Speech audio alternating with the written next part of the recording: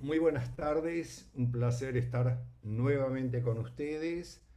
Agradezco la invitación también a graduados que siempre está colaborando y creo que estas jornadas además tienen una especie, un especial, perdón, significado porque procuran dar respuesta a temas quizás no tan académicos, pero sí a temas que se plantean en la realidad de todos los días.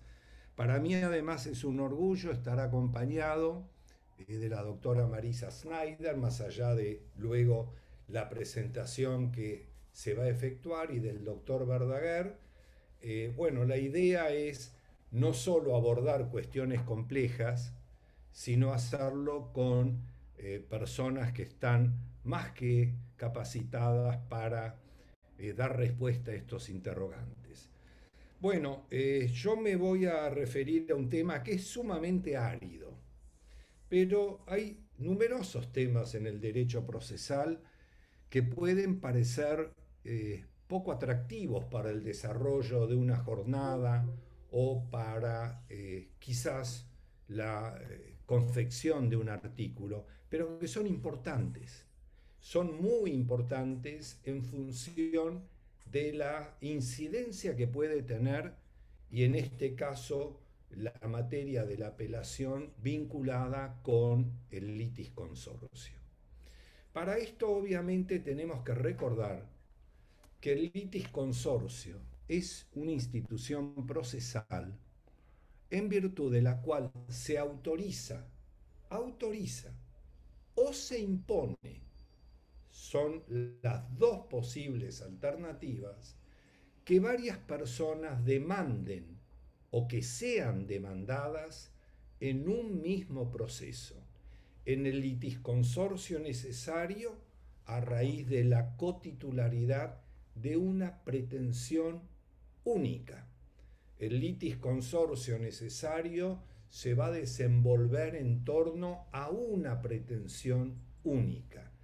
En cambio, en el litis consorcio facultativo, donde vamos a encontrar que se permite que varias personas demanden o sean demandadas, vamos a ver que se verifica la presencia de un vínculo entre distintas pretensiones derivadas de un mismo hecho constitutivo, sea conectadas por el objeto de la pretensión, sea por la causa o fundamento de la pretensión o por ambos elementos. Así, por ejemplo, cuando la víctima de un accidente demanda a los distintos partícipes del evento que le generaron el daño, nos vamos a encontrar con esa conexidad entre distintas pretensiones donde yo demando a todos, si quiero, a todos los propietarios o a todos los conductores que intervinieron en el accidente. Ahora, en ningún caso basta con la presencia de una pluralidad de personas. El litis consorcio es algo más que un conjunto de personas. Es un conjunto de personas que deben demandar o ser demandadas por la cotitularidad de la pretensión única o que pueden demandar o pueden ser demandadas por el vínculo de conexidad entre distintas, eh, eh, entre varias pretensiones derivadas, como dije, de un hecho un único y mismo hecho constitutivo. ¿Y por qué decimos la cuestión de la pluralidad? Porque en un proceso puede haber múltiples partes. Cuando se, un tercero interviene voluntariamente, sea en los términos del inciso 1 del artículo 90 o del inciso 2 del 90, en realidad nos vamos a encontrar con más de una persona que va a ser tenida incluso como parte, pero no en, una, en un litis consorcio. Palacio lo explica esto muy bien cuando habla de que en un proceso hay partes principales y partes accesorias. repito, el ejemplo del tercero, que toma intervención voluntariamente para apoyar o al actor o al demandado, o que toma intervención porque la sentencia podría afectar un interés propio de él. Aquí no hay litisconsorcio, podría haberlo en el caso de aquel tercero que toma intervención y que por, la, por el derecho sustancial hubiera estado legitimado para demandar o ser demandado. En materia de litis consorcio, el litis consorcio puede aparecer inicialmente en el proceso, la promoción de la demanda contra todos los condóminos en la pretensión o acción de división de condominio. y estamos ahí en presencia de lo que se denomina el litis consorcio originario, o puede sobrevenir a lo largo del proceso supuesto en el cual el, vamos a encontrar con que el litis consorte o el litis consorcio aparece por la denominada sucesión procesal, cuando se vende el bien, el objeto del proceso y pretende intervenir el adquirente, vamos a encontrarnos con que se genera o se puede generar un litis consorcio necesario.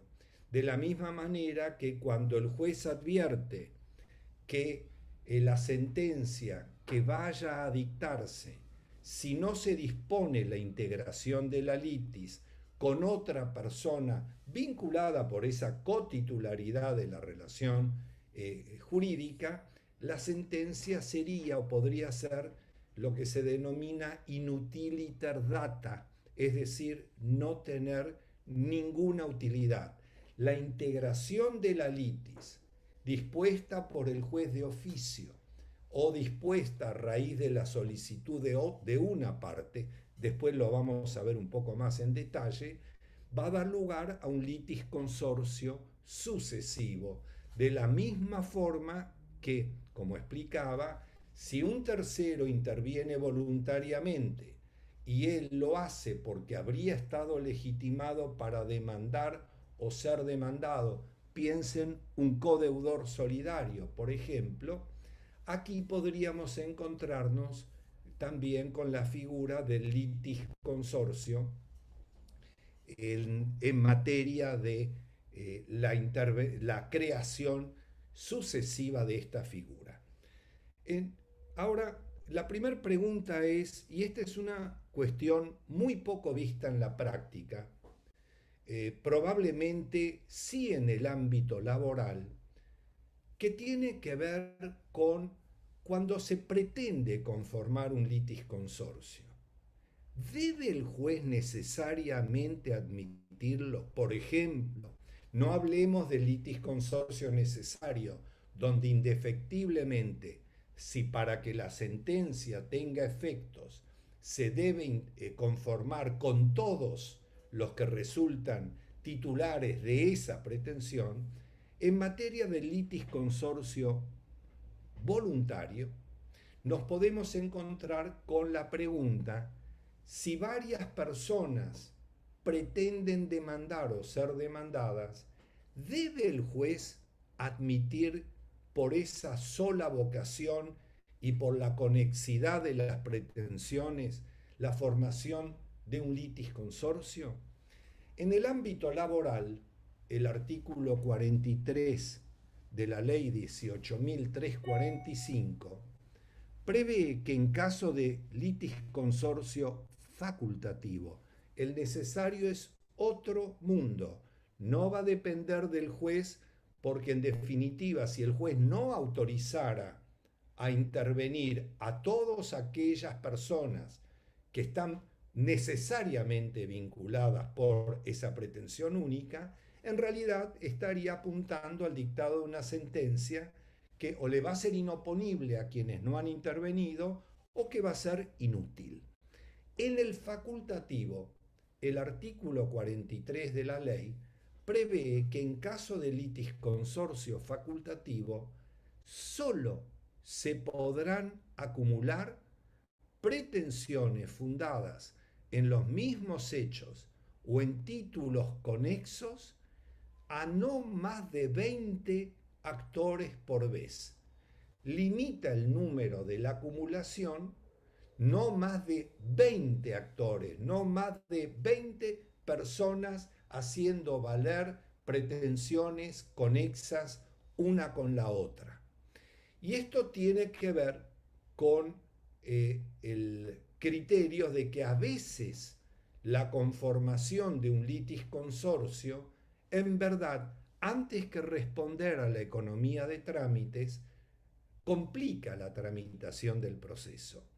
La República Argentina tuvo en el CIADI un caso de los 300.000 bonistas que habían demandado en un expediente caratulado Becarra y otros, los otros eran muchos, contra la República Argentina, había, eh, se había promovido un litis consorcio de miles de miles de ahorristas italianos que estaban demandando a la República por el daño que habían sufrido por la depreciación de los títulos argentinos y por el default, default de la República Argentina.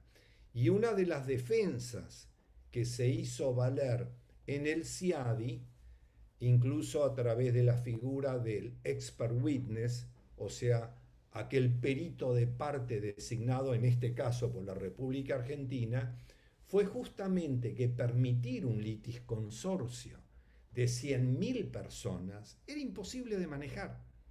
O sea, no había manera que se pudiera resolver la litis. El litis consorcio iba a dar lugar a un trámite mucho más complejo que la tramitación individual de, o, o al menos limitada en cierto número de causas. De cualquier modo, este es un tema sumamente complejo, muy poco visto en la práctica, pero que se puede dar especialmente con acciones colectivas y demás. ¿Qué litis consorcios tenemos en nuestro ordenamiento? En primer lugar, podemos hablar del litis consorcio facultativo y el litis consorcio necesario el facultativo regulado en el artículo 88 del Código Procesal, el necesario regulado en el artículo 89 del mismo código.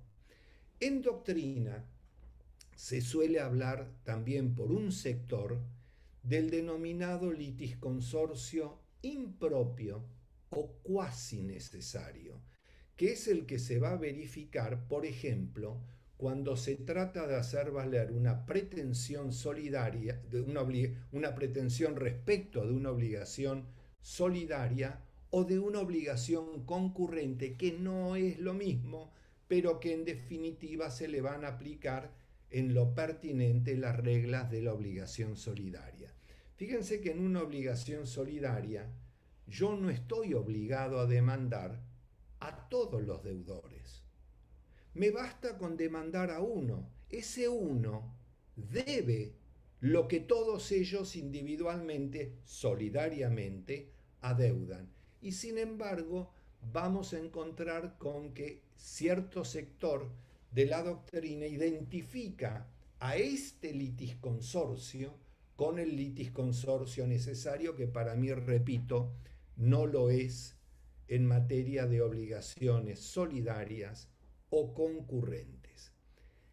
Cuando estamos en presencia de un litis consorcio facultativo, y esto nos va a llevar luego a la virtualidad que van a tener los recursos en materia de los litis consorcios. En primer lugar, el facultativo responde a la libre y espontánea voluntad de las partes cada pretensión conserva su individualidad y cada uno de los litis consortes mantiene su legitimación procesal en forma independiente dentro de un mismo y único proceso. Esto es así, salvo me refiero a la individualidad de ya la legitimación individual, esto es así salvo disposición legal en contrario.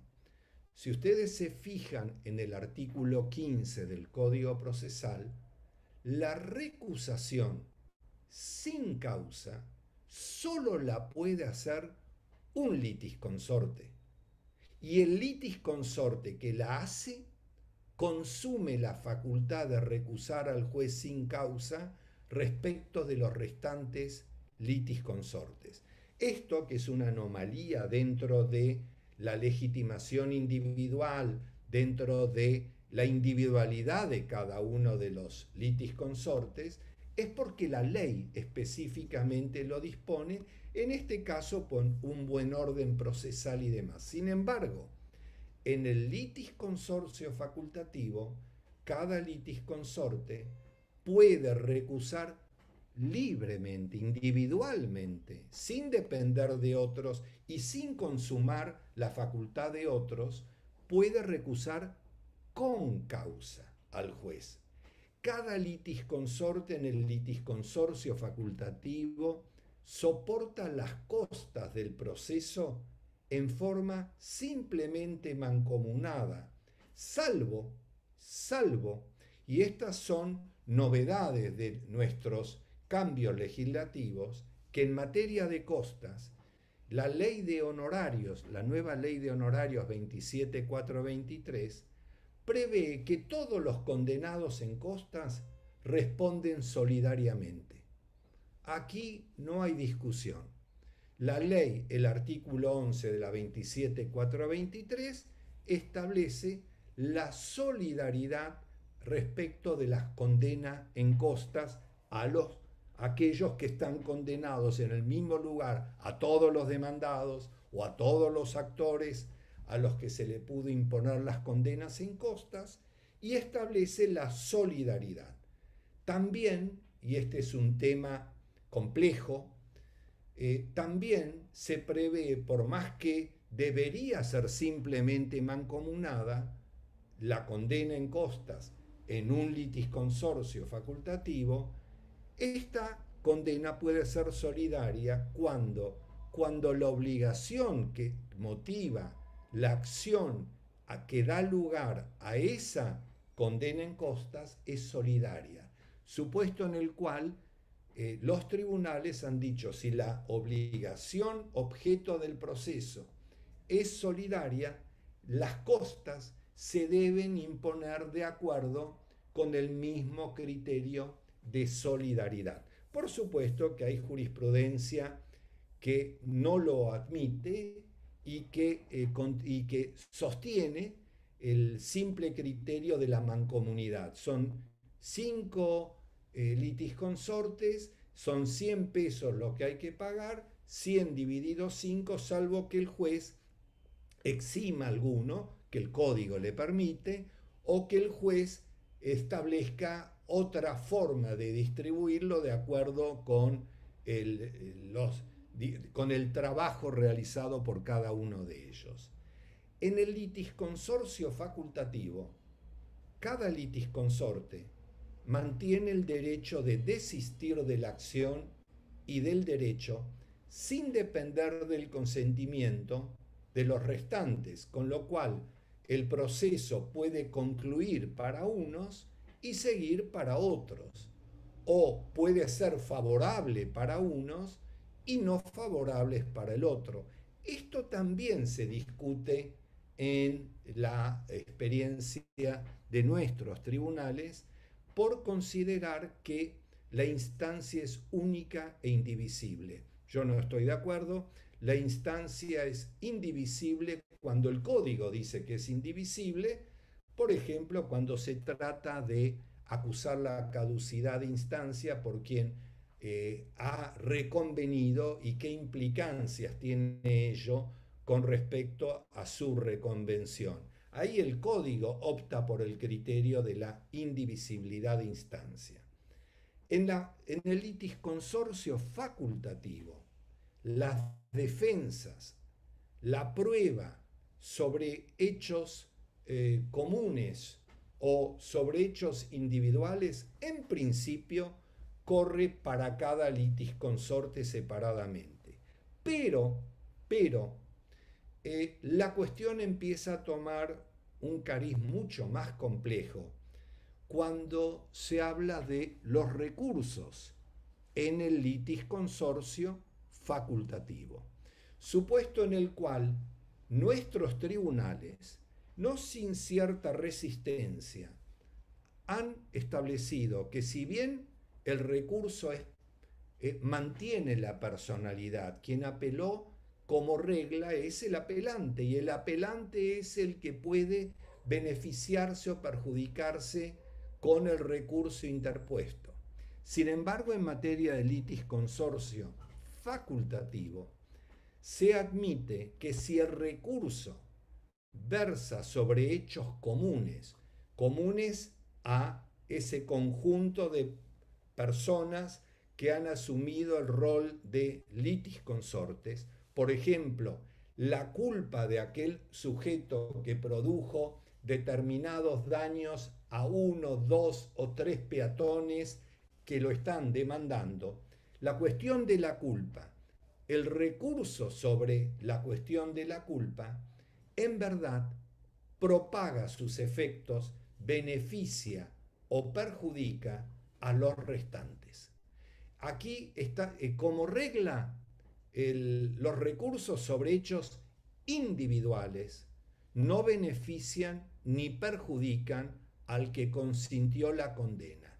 En cambio, el recurso sobre hechos comunes, por ejemplo, repito, la responsabilidad del demandado, demandado por varios actores eh, víctimas de un daño provocado por el mismo hecho constitutivo, en ese supuesto basta con que uno haya apelado para que la sentencia se considere apelada por los restantes que no interpusieron el recurso.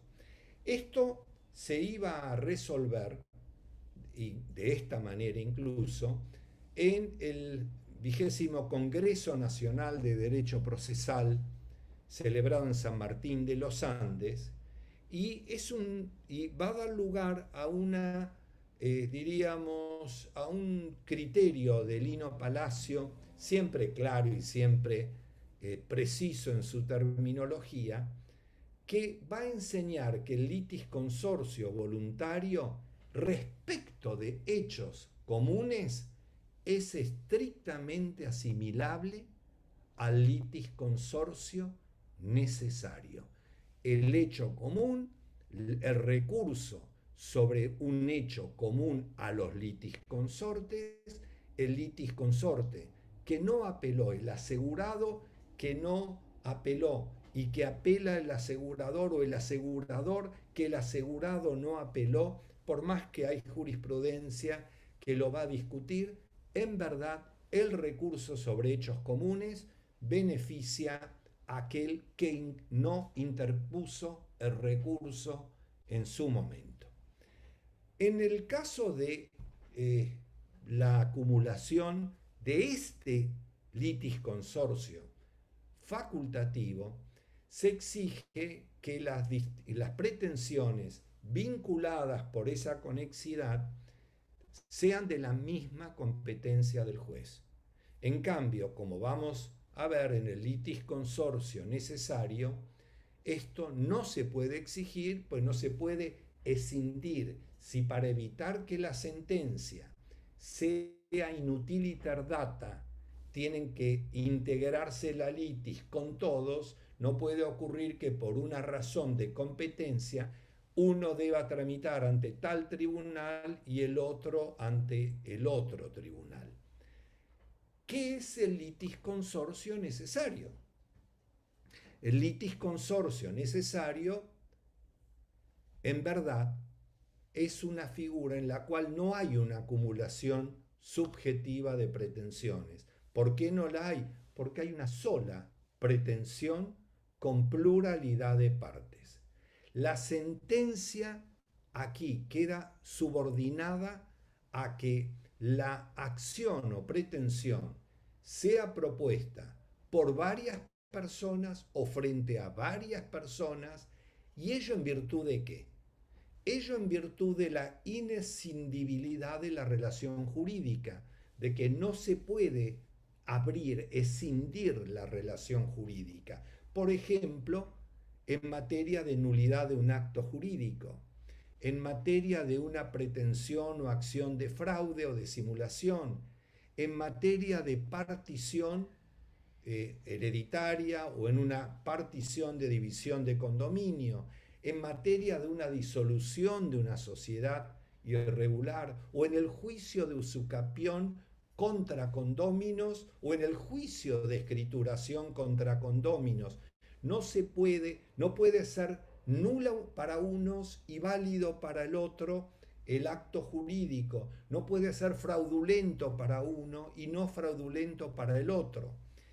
Pero no es solo cuando la relación jurídica es indescindible, es, no se puede fraccionar, sino también cuando la ley expresamente dispone que eh, se accione contra todos o por todos los sujetos involucrados o las personas involucradas en la relación jurídica sustancial. Y así, por ejemplo, cuando el artículo 582 del Código Civil, voy a explicar lo esencial para no invadir el tema la doctora Snyder, prevé que el hijo pueda reclamar su filiación matrimonial o extramatrimonial, pero que en caso de hacerlo, lo debe hacer contra sus progenitores, contra ambos progenitores de haber fallecido, contra sus herederos.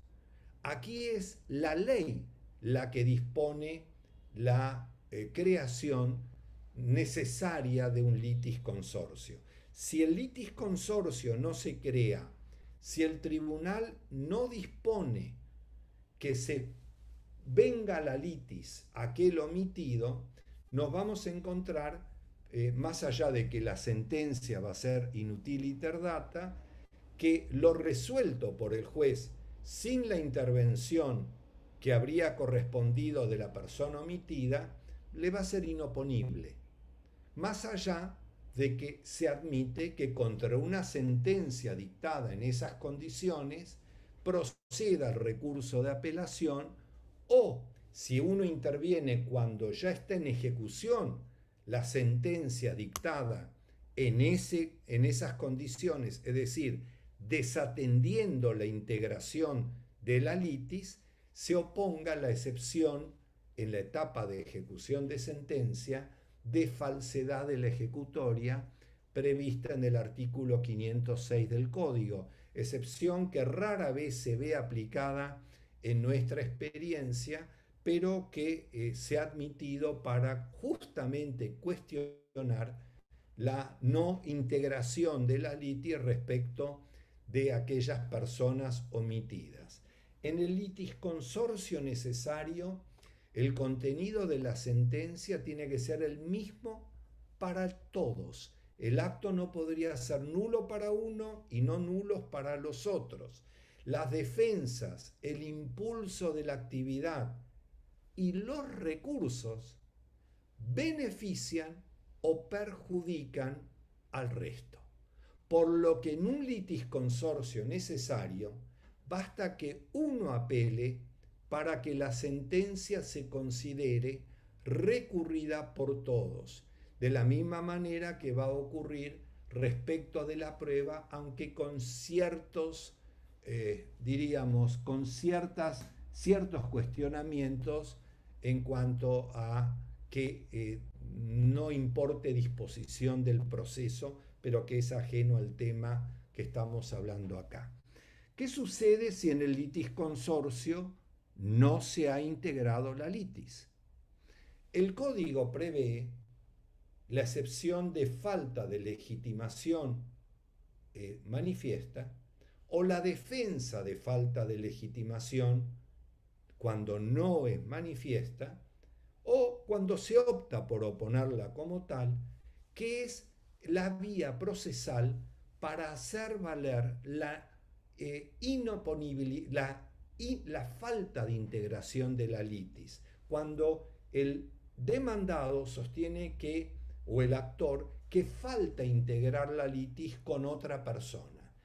Si es a pedido de parte, debe interponer la excepción previa de falta de legitimación, si es manifiesta.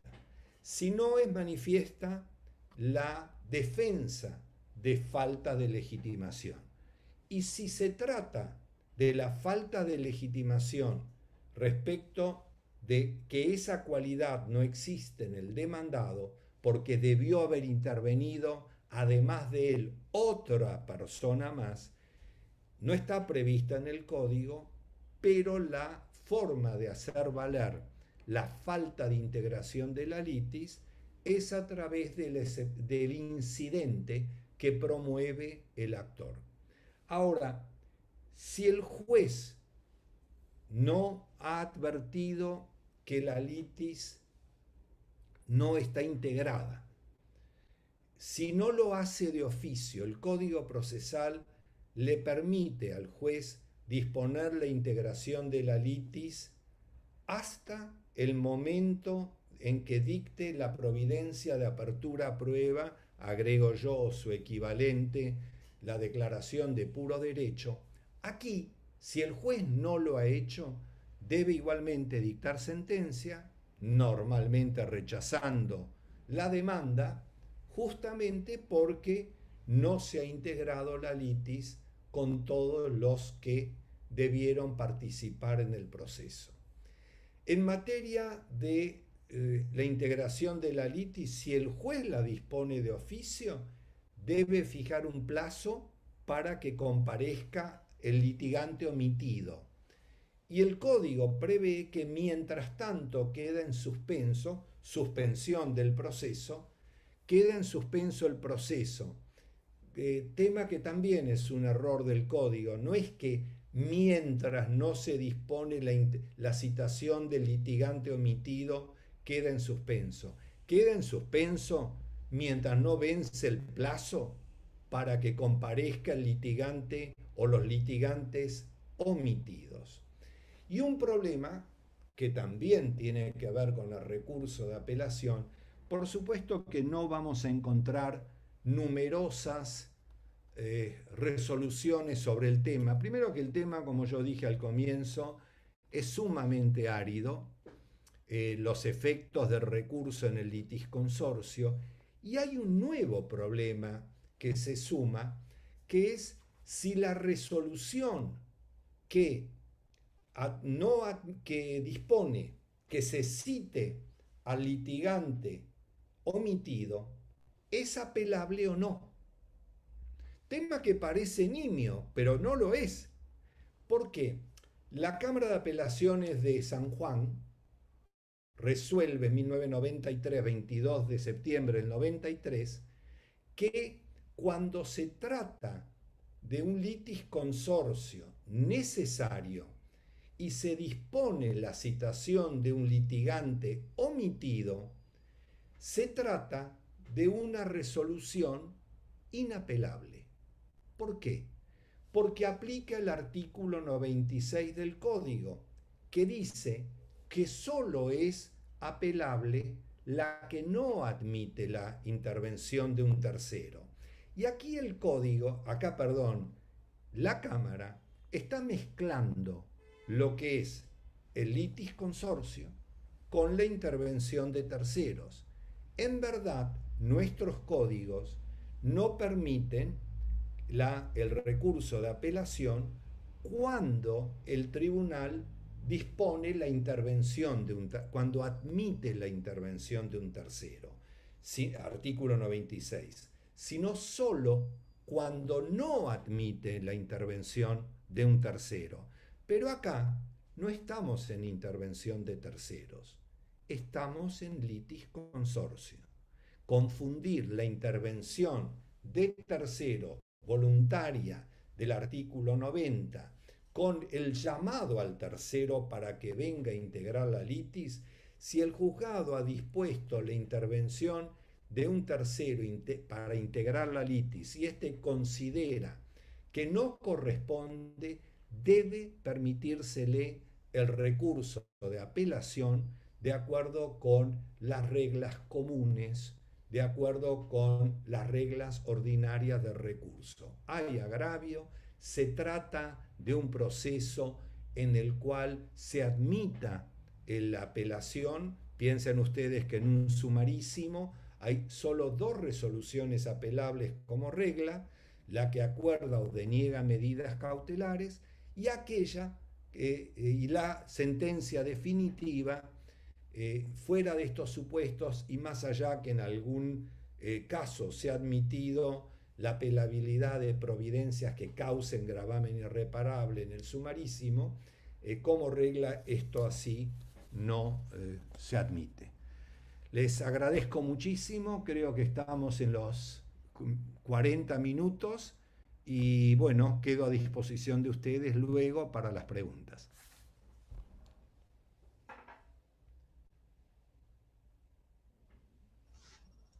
Bueno, muchas gracias Jorge. Les recuerdo que las preguntas las vamos a estar haciendo al final de la jornada, así que si tienen alguna consulta para hacerle al doctor, les pido que la guarden y al final las vamos a evacuar o van a levantar la mano y les vamos a habilitar el micrófono o a través del chat. Y ahora es el turno de hablar de la doctora Marisa Snyder, quien es defensora de menores e incapaces en Lomas de Zamora, especialista en la magistratura, que nos va a hablar hoy sobre la afiliación. Marisa, te escuchamos. Hola, ¿qué tal? Buenas tardes. Gracias a graduados y al doctor Kiermanovich por invitarme a participar de esta jornada. Y como bien dijo el doctor Kiermanovich, bueno, lo que yo voy a intentar hoy es transmitir desde el trabajo que hago todos los días la complejidad en los procesos de filiación en, la práctica concreta eh, que se nos presentan. Voy a compartir un PowerPoint. No sé si ven. ¿Están viendo? Sí, se ve perfecto. Bueno. Bueno, em, yo voy a, hablar de eh, las acciones de filiación en los que se encuentran involucrados niños, niñas o adolescentes y desde el rol eh, que participo como eh, defensora de menores incapaces hay dos acciones de, filiación en las que se puede mm, encontrar involucrado un niño o niña adolescente, que son aquellas de emplazamiento o de desplazamiento. Es decir, en el primero de los casos es cuando el niño o niña eh, o adolescente no, no, tiene o ambas filiaciones o una de las dos filiaciones y eh, lo que se va a intentar con una acción es que eh, cuente con la, filiación correspondiente. En, todo, este tipo de, acciones eh, filiatorias, además de las características particulares que tienen, no debemos olvidarnos que rigen los principios generales de todo derecho de familia contemplados en el artículo 706 del Código Civil eh, y que em, una de las cuestiones fundamentales es facilitar el acceso a la justicia, precisamente por los derechos eh, que se encuentran en juego y el derecho a la identidad de, de mm, reingambre constitucional. Eh, además de la especialización de los jueces ante los cuales tramitan estos expedientes, y eh, también se debe tener en cuenta el interés superior del niño o niña al momento de, resolver. Eh, con relación a la especialización de los jueces, en una de las dificultades que a veces nos encontramos es eh, cuando quien, a quien se le reclama la filiación ha fallecido y en este caso se inicia la acción contra los herederos y por em, el, expediente eh, queda radicado en el eh, juzgado donde tramita la sucesión. Acá este principio general de especialización del juez de familia no estaría presente y eh, podría llegarse a hacerse el planteo que debe primar la especialización y tramitar en el expediente en un juzgado de familia y no en el proceso sucesorio. Eh, otro de los principios y que se debe tener fundamentalmente en cuenta es eh, la participación en el proceso de los niños, niñas o adolescentes. Este derecho que tienen de poder ser oídos en todos los procesos que los afecten directamente y precisamente en los procesos donde se está reclamando la afiliación o la impugnación, eh, acá esto sí va a afectar eh, a, este niño que se encuentra involucrado. También es fundamental el principio de oficiosidad y que esto también está vinculado, como recientemente lo mencionó el doctor Kielmanovich, que es de oficio que el juez debería o debe eh, cuando hay un litisconsorcio necesario, de oficio debería eh, impulsar la causa en ese sentido, sea dándole eh, intervención al, asesor de menores para que pueda concretar esta, este litisconsorcio necesario, convocar audiencias. en este tipo de procesos es fundamental la función del juez para que precisamente no quede en vano los eh, derechos que se encuentran en juego. Bueno, con relación a la reclamación de filiación, eh, ya en las reglas eh, generales específicas, el artículo 582, que habla de quién está legitimado para iniciar este tipo de reclamo. el hijo lo tiene en todo tiempo para reclamar la filiación matrimonial, y también lo tiene en todo tiempo para reclamar la afiliación extramatrimonial contra quien considere sus progenitores. Si se trata de una persona eh, que todavía no tiene la capacidad para poder presentarse directamente eh, a través de un abogado del niño, por ejemplo, será quien lo inicie el, progenitor que sí tenga la afiliación. Entonces, en este caso habrá una cuestión de representación. El mm, padre que no, eh, no, necesita iniciar una acción para hacer el reconocimiento del hijo. Eh, este, directamente puede concurrir al registro civil e iniciar el reconocimiento. Sin embargo, en muchas oportunidades vemos que se inician este tipo de procesos, se presenta quien considera que es el progenitor de alguien y eh, inicia una acción. Eh, salvo que haya una inscripción anterior en la cual sí no se puede, no puede efectuar el reconocimiento directamente, en este caso lo que sí hay que hacer es primeramente una acción de desplazamiento de la afiliación anterior, para lo cual habrá que ver si está esa persona eh, legitimada o si ha transcurrido el plazo de, de caducidad. El, progenitor que quiere iniciar el, el reconocimiento es, bueno, ante el registro civil, que esta es la, opción eh, más eh, conocida. Otra es la declaración que se realiza en instrumento público privado debidamente reconocido. Este tipo de, reconocimiento se utiliza en muchas oportunidades, eh, por ejemplo, cuando nos encontramos con un, progenitor que se encuentra detenido y eh, se le dificulta el traslado para efectuar el reconocimiento eh, directamente en el registro civil, o incluso ahora eh, con este tema de la pandemia y que los registros civiles en muchas oportunidades no se encontraban operando, entonces la manera que hemos encontrado para poder hacer efectivo es, esto es también un reconocimiento en un acta judicial, porque como bien todos sabemos, el, el acta eh, en un expediente judicial es un eh, instrumento público. Eh, o, aunque no haya un expediente judicial, la asesoría de menores tiene la mm, posibilidad de iniciar un expediente extrajudicial y dentro de ese proceso poder hacer, labrar un acta y mandar luego por un oficio a inscribir ese reconocimiento. Esto se, se utilizó muchísimo durante todos estos, estos prácticamente año y medio eh, desde que comenzó la, pandemia. Es importante que una vez que se eh, realice esta este reconocimiento con posterioridad a, la inscripción, eh, que sea notificado como marca el código al niño y a la progenitora.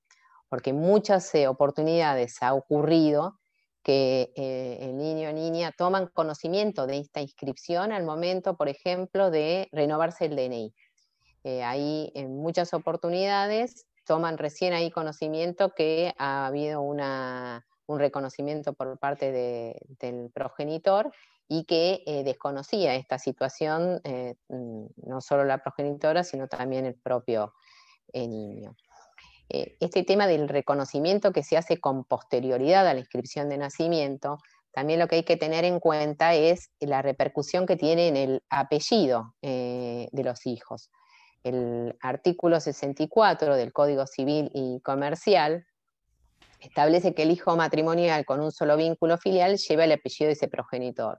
Es decir, esto que es lo que ocurre en aquellos casos donde únicamente eh, figura la progenitora eh, como mamá, no, aportó en ese momento los datos para intentar la filiación paterna, entonces queda anotado y con el apellido de la madre. Eh, si obviamente que ambos padres hacen la inscripción, eh, ahí se eh, va a aplicar el primer párrafo de este artículo, que es que los progenitores se van a poner de acuerdo en qué apellido se va a inscribir.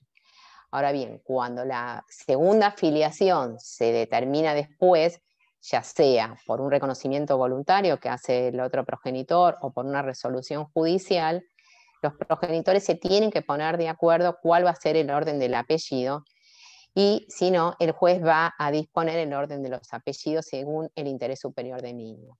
En este caso también es fundamental e imprescindible eh, que sea oído el niño, eh, sobre todo si ya tiene eh, una edad en el que es públicamente conocido con ese apellido y cuál es su deseo en ese caso.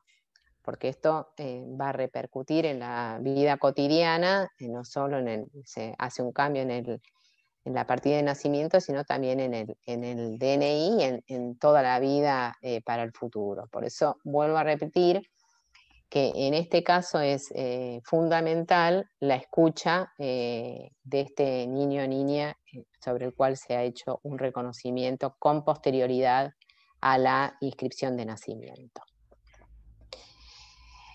El artículo 583, eh, que es el que da em, la intervención del Ministerio Público, que si bien acá habla únicamente del Ministerio Público, es eh, concretamente el defensor de menores o asesor de menores, depende la, jurisdicción en la que nos encontremos, que es eh, la comunicación que se le debe hacer al, asesor cuando se inscribe un niño y una niña únicamente con la filiación eh, materna. Eh, acá la función de la asesoría es instar, como bien dice el código, eh, a la madre a que suministre el nombre del presunto padre y toda la información que contribuya a individualizar a la individualización y a su paradero.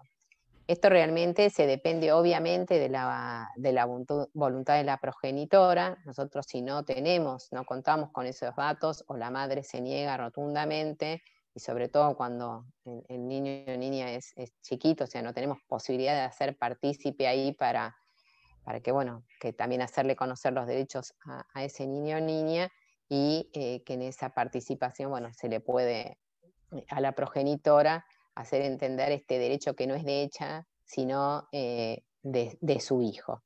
Y esto nuevamente, mientras más tarde se obtenga este dato, más mm, tarde es la posibilidad que ese niño o niña tenga de completar eh, y conocer su eh, realidad biológica.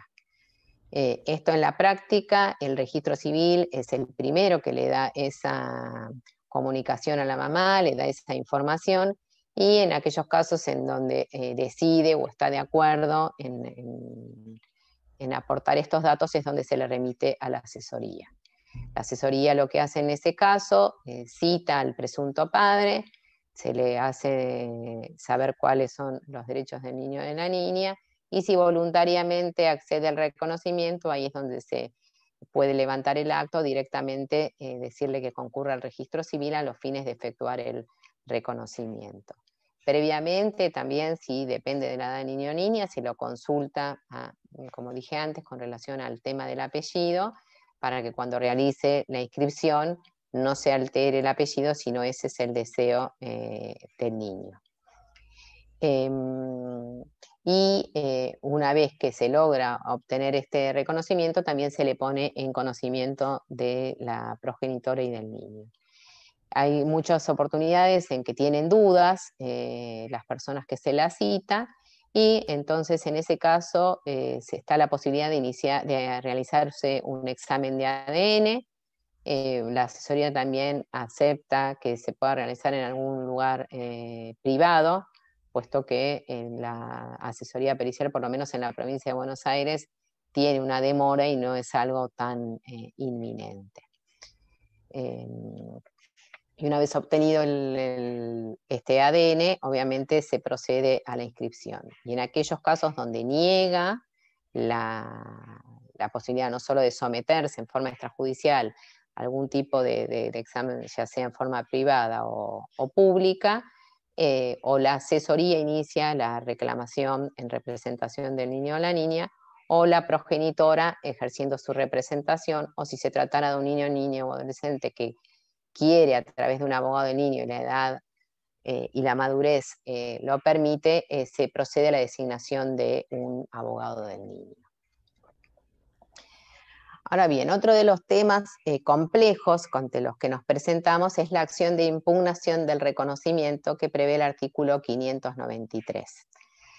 Em, la legitimación activa es del hijo eh, o la hija en cualquier tiempo, es decir, que el eh, niño, niño, adolescente tiene la posibilidad de iniciar esta acción en cualquier momento, incluso al arribar a la mayoría de edad, o sea que acá tiene siempre la posibilidad. Eh, otros que tienen la legitimación para poder iniciar este tipo de proceso son los terceros interesados. Deben acreditar en el proceso cuál es ese, interés que tiene, como por ejemplo ser el, padre biológico, pero en este caso eh, rige el plazo de caducidad de un año de haber conocido el acto de reconocimiento desde que se tuvo conocimiento que niño o niña podría no ser su hijo o su hija. Eh, este, o sea, las acciones de impugnación no, prescriben, pero sí están sujetas, ya como estamos viendo, al plazo de, caducidad. Y este plazo, que, también el Código Civil y Comercial en, la nueva redacción lo ha contemplado, es para eh, precisamente dar una estabilidad eh, familiar eh, y que no esté sujeto a esta situación en, cualquier momento. Vuelvo a decir, sí para, el, hijo que ha sido reconocido, para esa persona eh, no existe un plazo de, caducidad.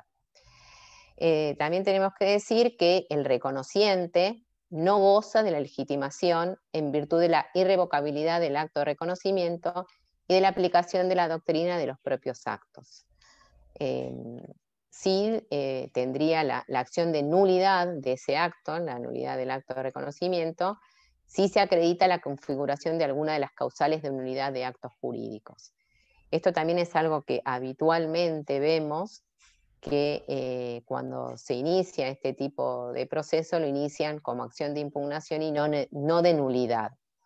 Y también otra cosa que hay que tener presente es qué es lo que se debe probar porque son dos acciones totalmente diferentes.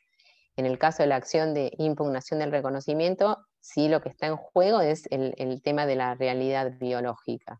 Si ahí la prueba más importante es la de la prueba de ADN, que con esa prueba, desplazando, digamos, eh, a quien ha reconocido, eh, es la que bastaría. No así en eh, la acción que iniciaría, por ejemplo, eh, quien ha efectuado un reconocimiento inicia una nulidad, no obstante, por ahí estar la prueba de, del ADN, ahí no quiere decir que por eso se va a hacer lugar a la acción. En, este tipo de procesos, cuando se inician y, y no se logra probar, automáticamente la, asesoría y el mismo juzgado lo primero que hace es citar ¿no? a la progenitora y, de vuelta, depende de la edad del niño o la niña, también se los convoca eh, para ver qué hace al mejor interés del niño, porque en estos procesos cada caso es particular y la solución que se debe obtener en, ese expediente judicial es la que es, eh, se adecua como si fuese un guante o, un traje a medida para ese caso. Lo que puede servir para un caso no necesariamente sirva para el otro. Y también la participación de la asesoría depende de las distintas situaciones que se presente, va a ser la postura que en cada caso eh, tomemos. Mm, yo le mm, traje distintos casos en los que he participado, donde para que se pueda ver eh, la, participación por ahí de, la asesoría o los distintos presupuestos que se han planteado.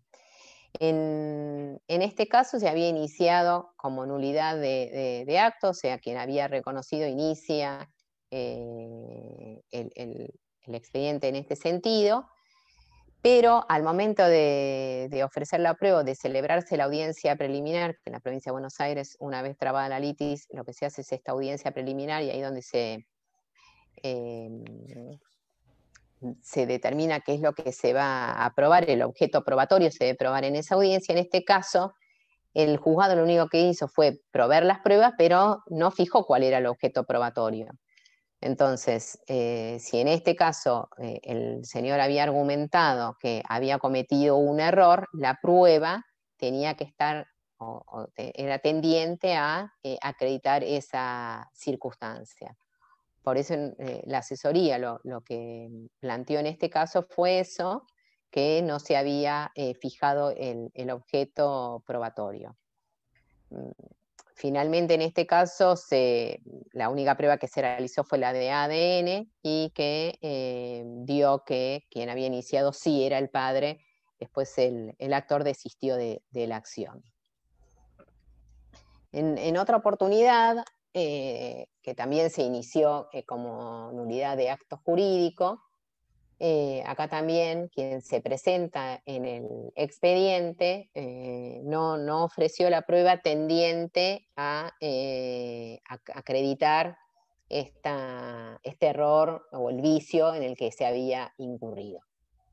Em, acá la, la, asesoría toma mm, intervención eh, únicamente recién en el momento de la vista de causa, o sea que no, se le, no tuvo mucha participación durante eh, el proceso. Algo que quiero, que, si bien después, bueno, de pasar el power y que puedan eh, obtener toda la información, a veces también no hay que olvidarse que los derechos que se encuentran acá, ¿no? Involucrados, y acá eh, mm, esta persona había reconocido a, esta niña, tuvo la función de papá durante un tiempo, después decidió hacerse un ADN por distintas circunstancias y ahí le dio que eh, no era el padre de la niña. Y él mismo en la demanda pone, afirma que desde entonces no tuvo más contacto ni con la niña ni con su madre. Eh, estas situaciones, ¿no? Donde se hace un corte abrupto, de alguien que vino hasta un determinado día siendo el, progenitor, lo que provoca en los niños y niñas, a veces a nosotros, eh, más allá de la, intervención que se hace del equipo técnico, de la psicóloga, de la asesoría, esto repercute de una manera muy negativa en, las personas que se encuentran involucradas. Entonces, bueno, es, importante también que al momento de, de, que se inicie esta acción, ustedes cuando inicien como abogados también hace a en este tipo de procesos asesorar, que una cosa es lo que finalmente se resuelva, pero otra cosa es los seres humanos que están involucrados y que no se puede eh, cortar el vínculo de un día para el otro, eh, por, más allá que eh, se pueda a lo largo de un tiempo, de, luego de un proceso y luego que se le pueda explicar a la niño o niña involucrado qué es lo que está sucediendo. En este caso, cuando se corre traslado de la demanda, la, progenitora niega y dice, sigue afirmando que sí, eh, esta persona es el padre. Eh, se celebra la audiencia preliminar nuevamente ahí la única prueba que se había proveído era eh, la prueba biológica, que esto es el, grave error, ¿no? Porque si únicamente se tiene esa prueba y no se prueba otra cuestión, la acción de nulidad corresponde su rechazo. La participación, vuelvo a decir, de la asesoría en este caso fue recién eh, cuando se celebró la, a los fines de participar de la audiencia de vista de causa.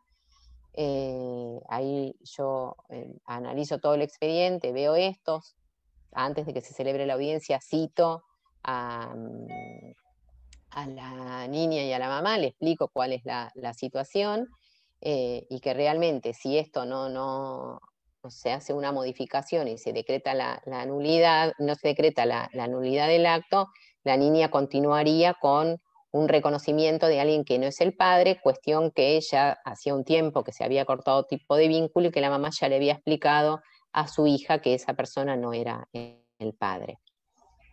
Em, en ese caso, yo en, el mismo acto de la, de la vista de causa, lo que hago es una reconvención por impugnación de la paternidad en representación, ejerciendo una acción directa en nombre de la niña y ofreciendo como prueba el, examen de ADN que ya se había hecho.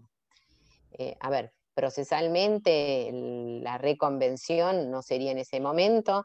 Yo la, posibilidad que tenía era haber planteado la nulidad, ir todo para atrás. Bueno, mm, hice en ese, la reserva eh, del tema de la nulidad pero bueno, eh, en, ese mismo acto se le corrió traslado al, progenitor, al padre reconociente en realidad, desistieron del tema de la resta de prueba que se iba a celebrar en la vista de causa y se eh, mm, mandó el expediente para, para resolver.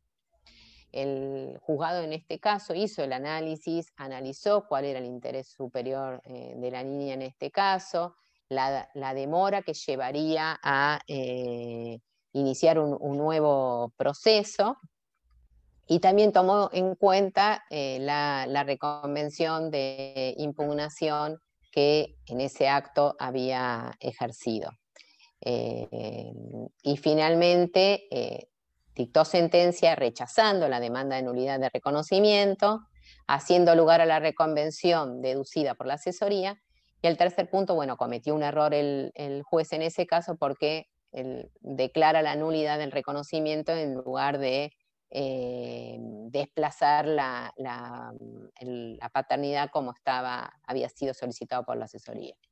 Esto llevó a que la asesoría tenga que interponer un, recurso de, aclaratoria y eh, finalmente el, juzgado, haciendo también lugar a esa aclaratoria que se solicitó, Em, rectificó ese eh, punto de, la sentencia.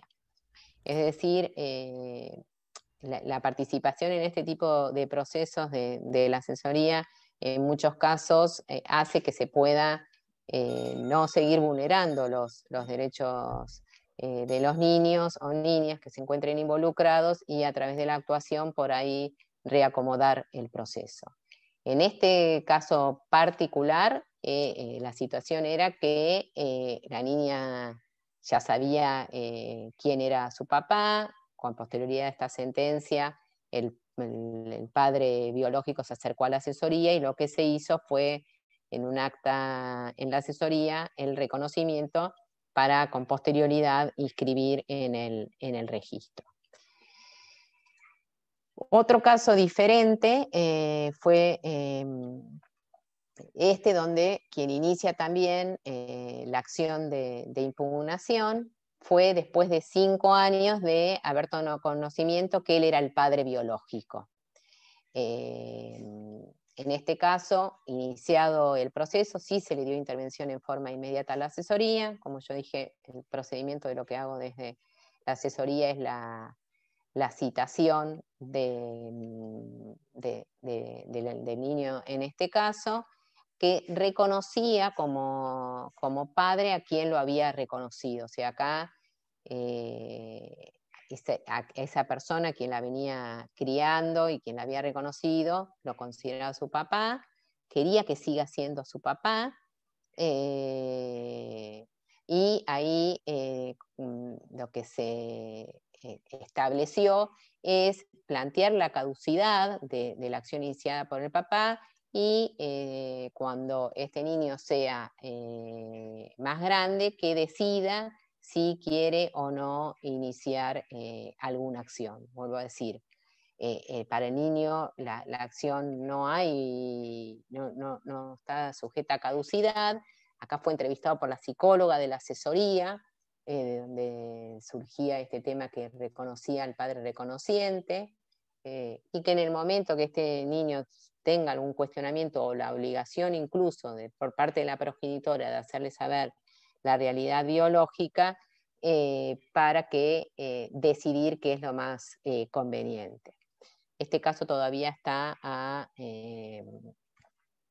a que lo resuelva el juzgado, no hay todavía una, decisión por parte del juzgado, pero bueno, este es el, planteo que ha hecho la asesoría, incluso basándose en un caso de la Corte que ahí está citado, eh, que eh, se le dispone que en su oportunidad sea el asesor eh, quien tenga interviniente, quien se ocupe cuando es la mejor oportunidad para que se pueda conocer este niño en la realidad biológica y en su caso iniciar la, acción.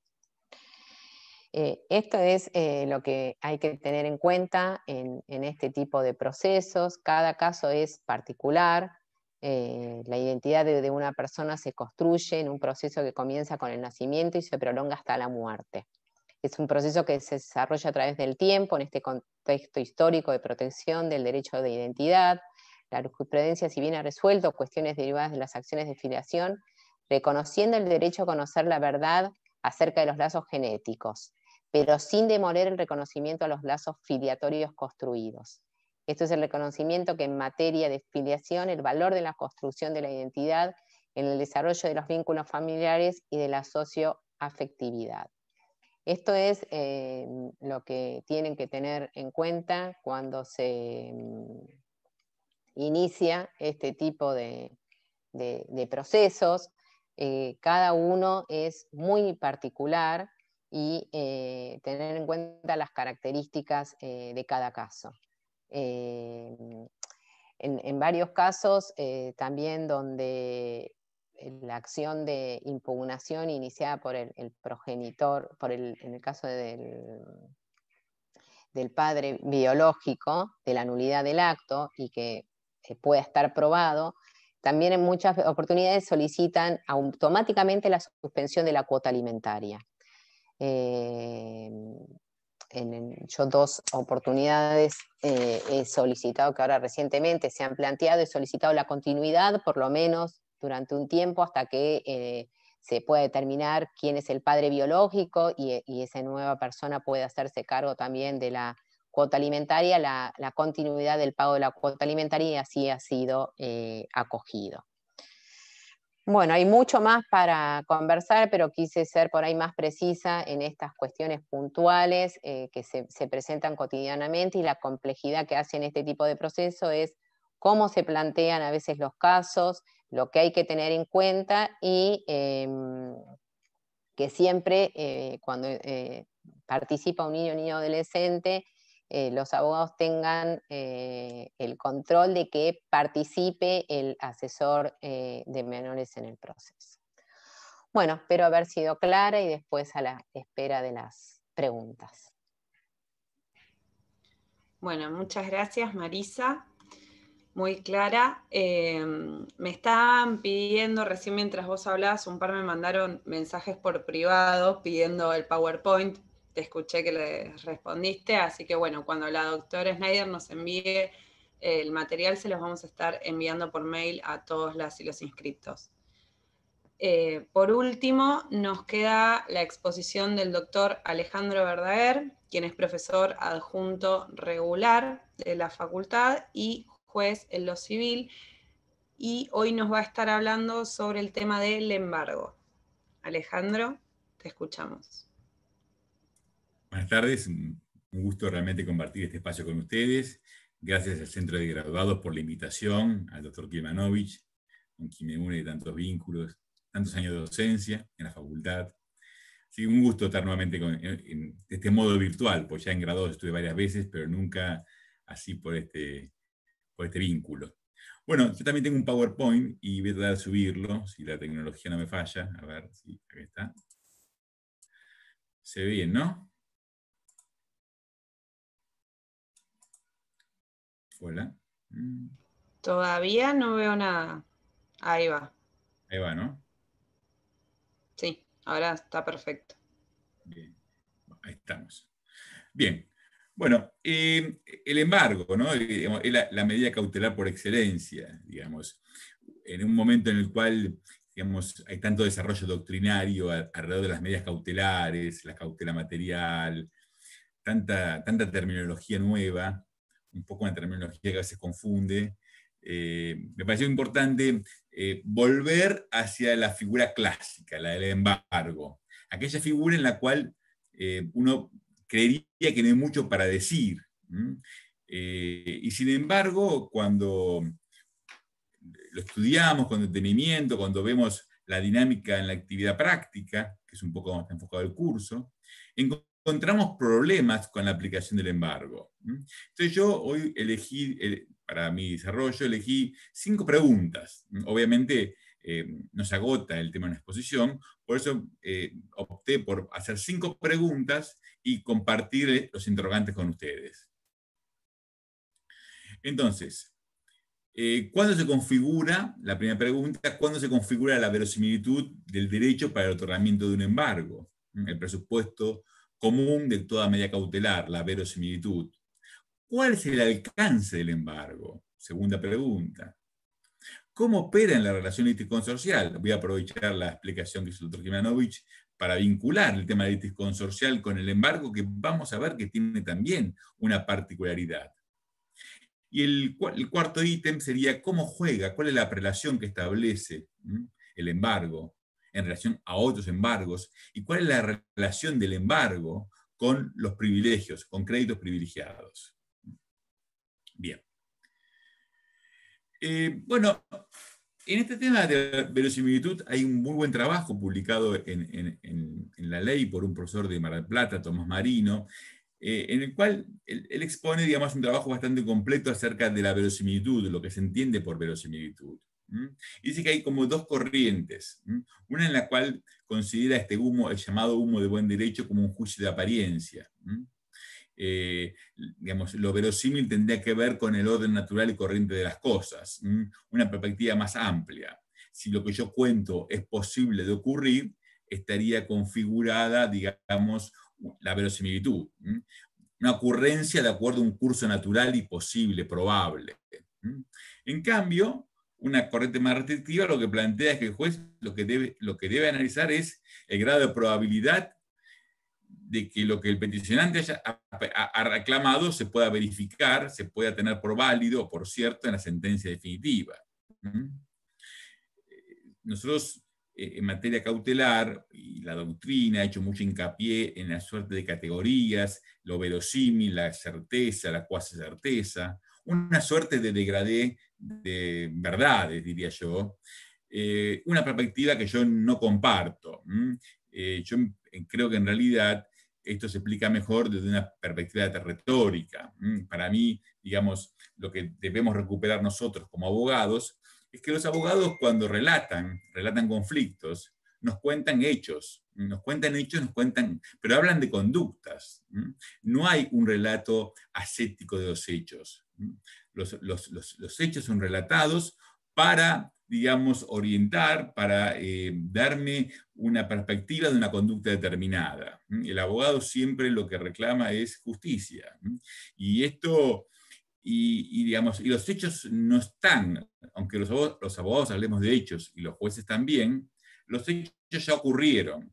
Nosotros lo que tratamos es de hacer una reconstrucción de lo que pasó.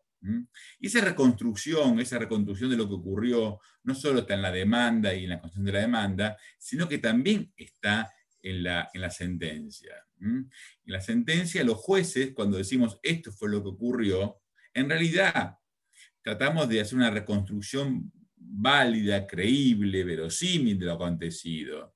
Siempre en el derecho estamos en el plano de la verosimilitud.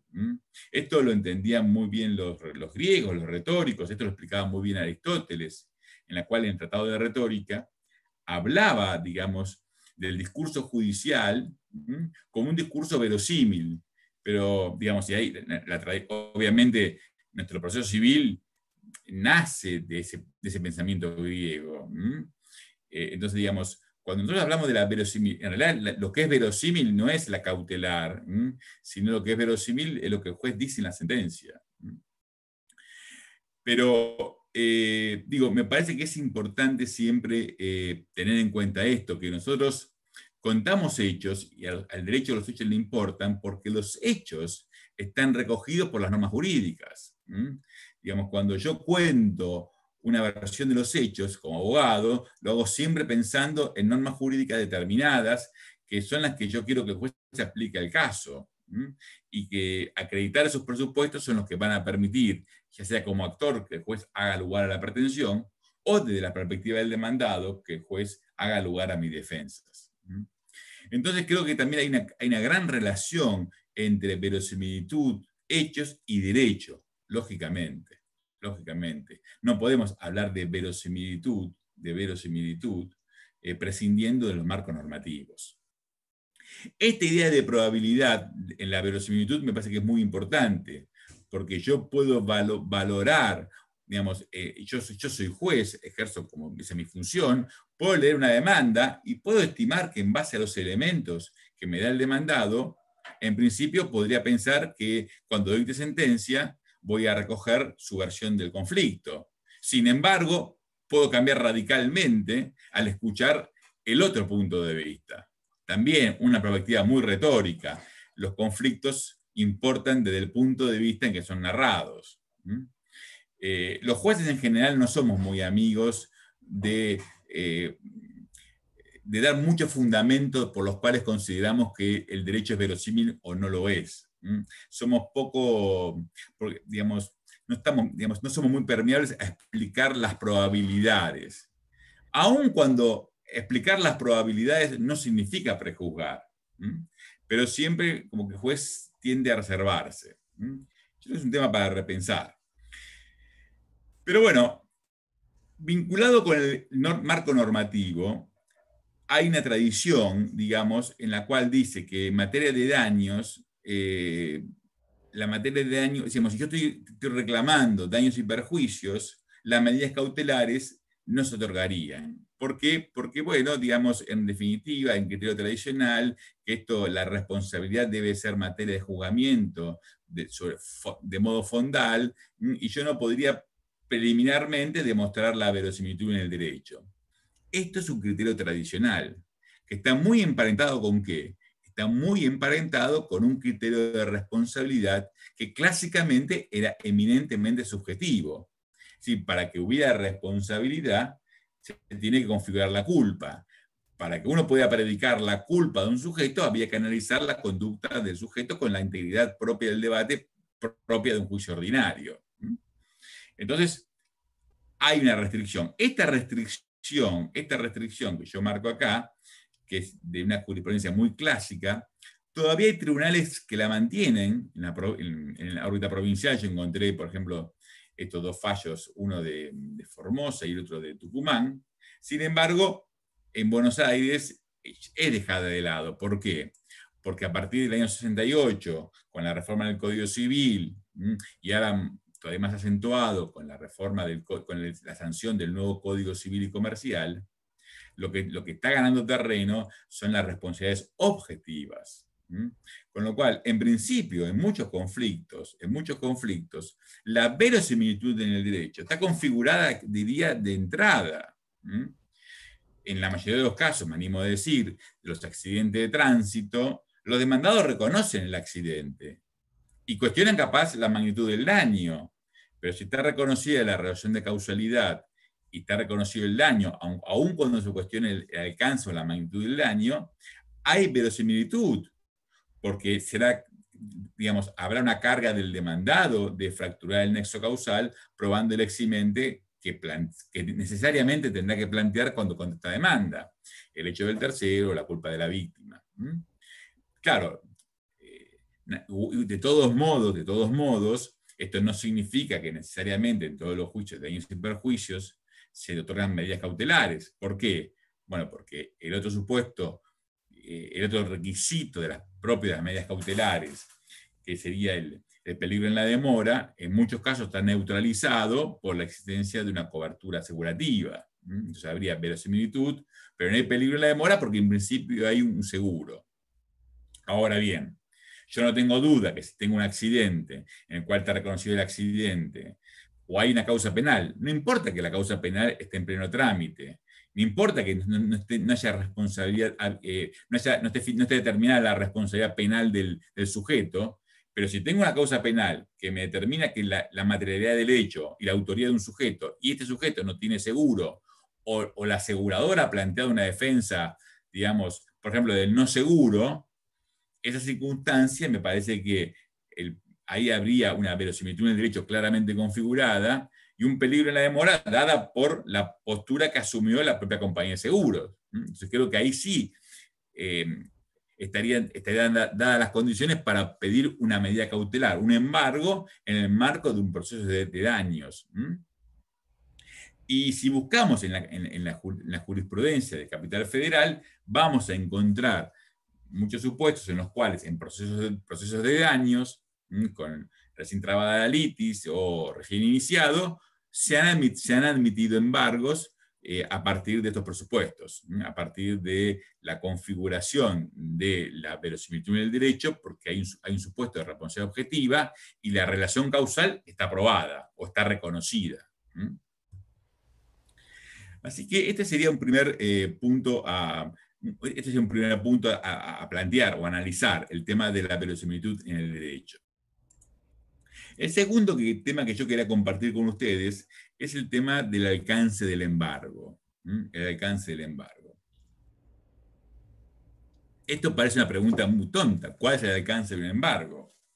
Sin embargo, sin embargo, eh, los jueces leemos esto de modo diametralmente distinto. Fíjense, hay dos fallos plenarios, uno de la Cámara Comercial y otro de la Cámara Civil, que dicen exactamente lo contrario. Para la Cámara Comercial, el embargo queda limitada a la suma del registrada. Digamos, el embargo se traba por una suma X más otra presupuestada para intereses y costas. Ese es el límite del embargo. No hay otro límite del embargo. Es ese. Es un dato objetivo que surge del registro. En cambio, la Cámara Civil, en un plenario del año 2001, sostiene lo contrario y le, hago una aclaración, es un plenario que tuvo una mayoría notable, digamos, creo que de, las 13 salas, 11 o 10 votaron a favor de, esta doctrina, que dice, que el embargo no solo alcanza al, monto nominal, al monto de la traba, sino también, bueno, el tema de las devaluaciones es un error, porque ya cuando fue dictado el, plenario, ya hacia 10, digamos, ya regía la ley de convertibilidad, sino que comprende también los intereses y las sucesivas ampliaciones y las demás, la demás eh, ulterioridades posibles del crédito. Es decir, que digamos, si, si, alguien va a adquirir un bien embargado y el bien está embargado por un juez civil de capital federal, es imposible predecir, predecir cuál es el alcance del embargo porque habría que estudiar cuáles serían las proyecciones patrimoniales del juicio, eh, proyecciones e inclusive honorarios e intereses, y no solo eso, sino que podrían haber eh, otras consecuencias jurídicas no planteadas en ese proceso, que podrían dar lugar a un nuevo proceso que también alcanzarían el embargo. Con lo cual, digamos, eh, si bien todos sabemos que la afectación de la cosa al resultado de un proceso no expulsa, no impide la enajenación del bien embargado, no impide la enajenación del bien embargado, lo que, lo que está prohibido es ocultar el embargo, ocultar el embargo. El embargo, trabado con, la, con el alcance que fija la doctrina plenaria de Sertok, implica en los hechos la imposibilidad de transferir el inmueble porque no creo que haya nadie que sabiendo este alcance o sabiendo este, esta, doctrina, compre un bien embargado, porque ¿cómo va a, cómo va a saber cuál es el límite de su responsabilidad? ¿Cuál es la, digamos, me acuerdo que el profesor Mayo decía que, que de acuerdo a ser TOC, de algún modo el adquirente se transformaba en un codeudor solidario del vendedor hasta el monto del bien adquirido. Porque uno, se uno de, algún modo se transforma en codeudor sin límite. Con lo cual esto lo que trae aparejado es, digamos, es la imposibilidad eh, de que este adquirente, que, de, que, el sujeto que sufre el embargo venda el inmueble a, un tercero. Bueno, seguramente muchos dirán, bueno, pero esto evita que se hagan maniobras de un acreedor que se durmió, digamos, que trabó el embargo, eh, caso obligaciones alimentarias, que son obligaciones periódicas, que se durmió, trabó un embargo originario, no lo empleó nunca más, este, la doctrina Sartok impide, impide que, el, sujeto embargado venda el inmueble, se lo, enajene para desobligarse, insolventarse frente al acreedor. Esta puede ser una teoría. También yo diría, bueno, también impide que aquel sujeto que tiene un problema patrimonial determinado, que sufre un embargo sobre una propiedad, pueda venderla para, para, para saldar la deuda. Está, digamos, entregado al, poder del, embargante de que le levante el embargo para poder venderlo. Y esto también tiene algunas proyecciones, porque fíjense, es cierto que, el tema de la caución es un tema que ha desaparecido hoy. Yo cauciones reales creo que no veo en civil, no, hace años que no veo una, porque los beneficios de sin gasto, eh, con criterios que se han ido elastizando, de algún modo lo que han derivado es que digamos, no hay cauciones reales. Pero la caución real, históricamente, se fijaba en 30% de qué? Del monto del embargo. Porque se entendía que el perjuicio que podía sufrir el embargado tenía que ver con el monto nominal del embargo. De acuerdo a CERTOC, no, no pasa por ahí el perjuicio.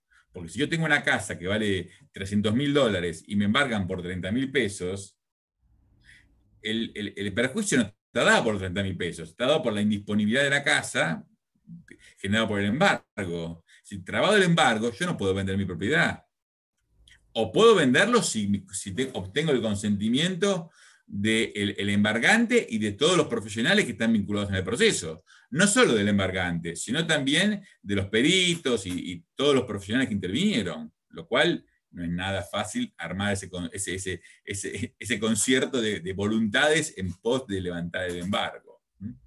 Pero más allá, digamos, de las posturas que uno puede tener, si uno adhiere a una tesitura o a otra, es interesante ver cómo esto se proyecta en otros tribunales. ¿Por qué digo esto? Porque fíjense que eh, la, la, Cámara, por ejemplo, la Cámara, eh, el foro laboral el Foro Contencioso de la Ciudad, en San, Isidro, siguen la doctrina de la, Cámara Civil.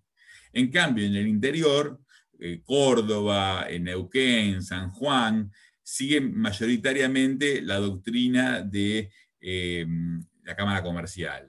En Santa Fe, en cambio, hay criterio disímiles.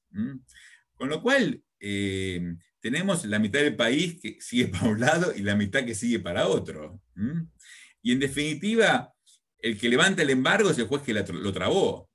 Entonces, uno puede estar en Córdoba, puede saber que el criterio en Córdoba unánime es, o bastante uniforme, es seguir la doctrina de la Cámara Comercial. Sin embargo, el que ordenó el embargo es un juez civil de Capital Federal. Y ese juez civil va a regular ese embargo en función de la doctrina plenaria de la Cámara Civil.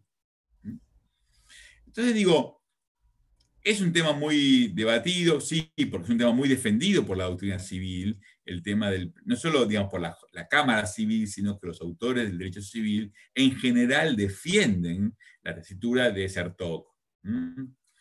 Ahora, me parece a mí que acá hay un tema de seguridad jurídica. El, digamos, un embargo no debería ser un tema tan opinable. Es un tema bastante objetivo. ¿Cuál es el alcance de un embargo?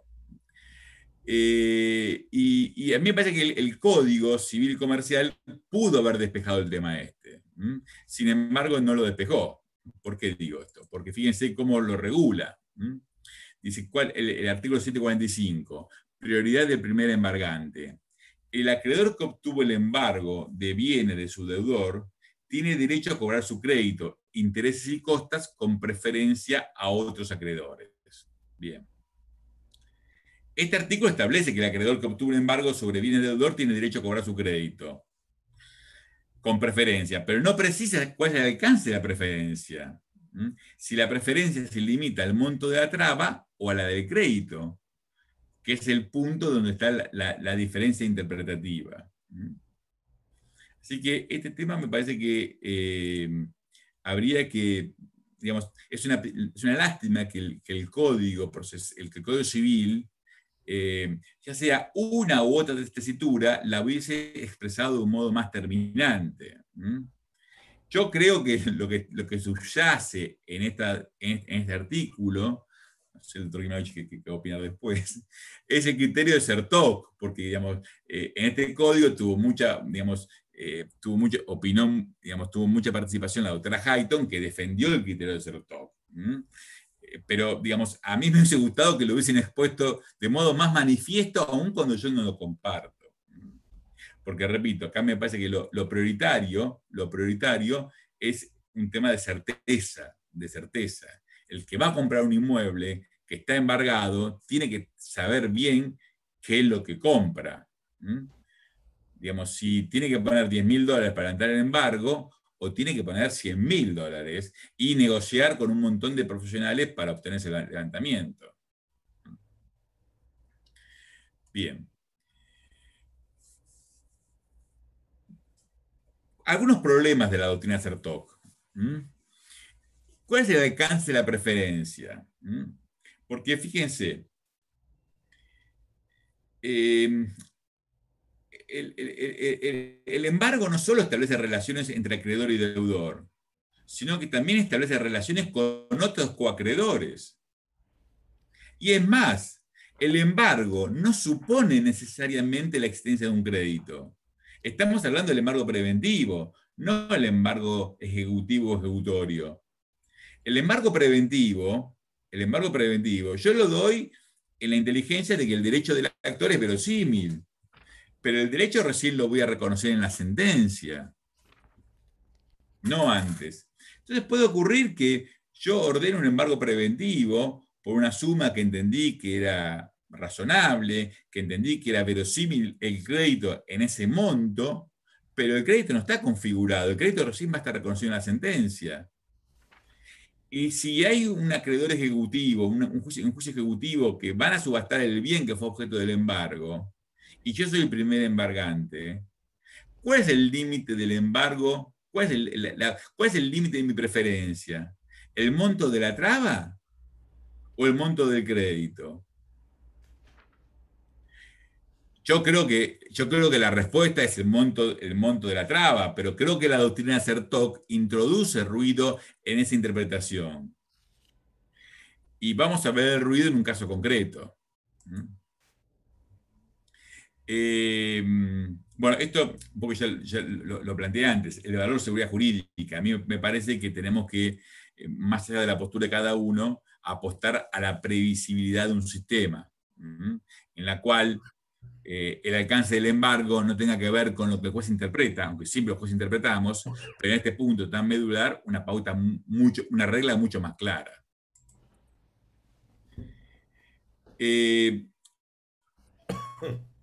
Vinculado con esto, también que yo, señalé recién, me, gustaría volver al embargo sin monto, un tema que es especialidad de los abogados que hacen familia. El doctor Kimanovich, hemos hablado alguna oportunidad de esto. Los embargos sin monto también para mí son criticables, porque cuando yo te hago un embargo sin monto, no hay una afectación de una cosa a un crédito, a un monto, es sin monto. Lo que yo estoy prohibiendo al sujeto es que que contrate con una cosa, digamos. Esto me parece, parece muy lógico que, a ver, que en un juicio de, en un, en, un tema, en, una liquidación de sociedad conyugal, un cónyuge plantee, no, no, a mi marido no lo dejen, o a mí, no lo dejen contratar, no lo dejen vender, no lo dejen grabar, ningún que integre el patrimonio conyugal. Esto para mí es inobjetable. creo que la medida, la medida que corresponde en ese caso es la provisión de contratar. ¿Y por qué digo esto? Porque el embargo sin monto es, se transforma en algún caso una suerte de privilegio judicial. ¿Por qué digo esto? La mujer obtiene un embargo sin monto, un embargo sin monto. El marido sale con el auto sin seguro, atropella a un chico, lo, lo daña severamente. No hay seguro. El chico, los padres del chico hacen un juicio contra el marido, pero ya hay un embargo sin monto previo antes de la mujer por el divorcio. ¿Cómo se resuelve esto? El abogado de familia me dice, no, primero yo me cobro todo y después con el remanente vos te cobrás al chico. Me parece que ahí estamos estamos creando una suerte de un privilegio judicial, un privilegio que no existe, estamos dando un crédito, estamos privilegiando un crédito dándole un privilegio que, repito, yo lo interpreto, pero obviamente esto es discutible y opinable, como una suerte de privilegio judicial. Pero esto para el debate. digo, yo creo que la idea del embargo, para volver a su esencia, el embargo es la afectación de una cosa por un monto determinado.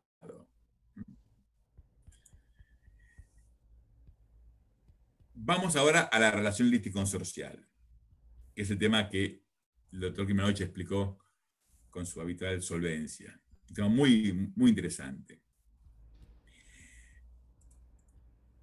Si yo tengo una relación, digamos, yo tengo, imaginemos una relación sustancial cualquiera, Juan, Pedro y José, imaginemos un accidente de tránsito.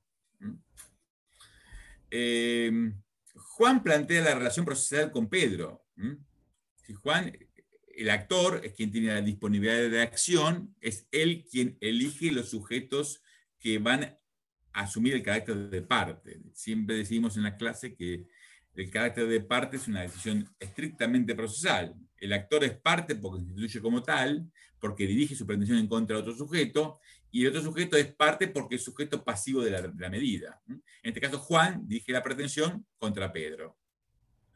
Pero en el conflicto también está José. Este José puede ser que sea el dueño del auto que conducía Pedro, o puede ser también un tercero que participó en el conflicto.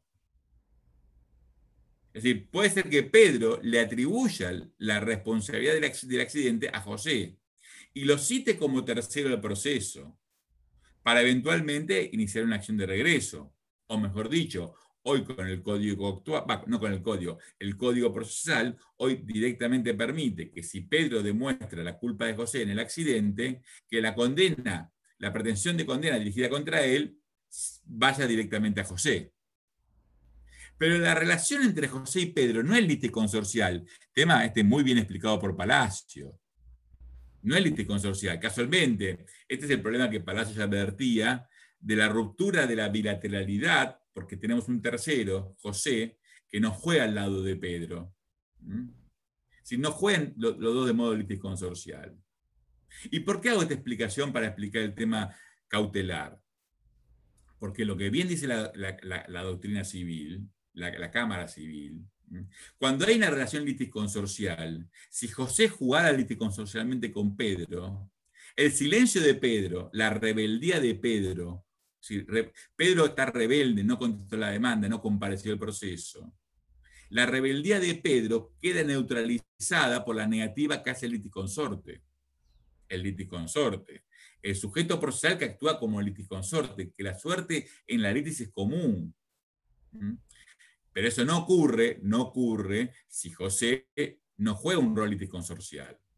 Entonces, la relación litisconsorcial, la relación litisconsorcial es un elemento a tener en cuenta a la hora de admitir o valorar el pedido de embargo sobre un sujeto que es rebelde. Es decir, que la rebeldía de un demandado no se traduce automáticamente en un pedido, de, en una autorización para trabajar un embargo, aun cuando el código lo dice, si hay un sujeto liticonsorcial que cuestionó la responsabilidad que el actor le atribuye a ese rebelde. Buscándote, digamos, esto se da todavía más aún más aún en recientes fallas a la G, si el rebelde es la compañía de seguros, porque la compañía de seguros ni siquiera participa de la relación sustancial, así que la compañía de seguros siempre actúa atrás de un asegurado, pero digamos, el silencio de la aseguradora porque no contesta la situación en garantía o porque está rebelde, cuestionable si podemos declarar la rebeldía de una aseguradora, porque la aseguradora técnicamente no es parte, aunque, lo, aunque tiene las mismas facultades y puede ser, digamos, pero no es parte. Pero aun cuando admitiéramos la rebeldía de la aseguradora, la rebeldía no puede reconocer, la aseguradora no puede reconocer nada de una relación en la cual no participó. Entonces, digamos, acá hay otro fallo reciente de la sala G que revocó un embargo trabado contra la aseguradora porque no, había contestado la citación, cuando el asegurado cuestionó, cuestionó los hechos que, expone el actor como fundamento de la pretensión. Entonces, eh, es el, mismo concepto.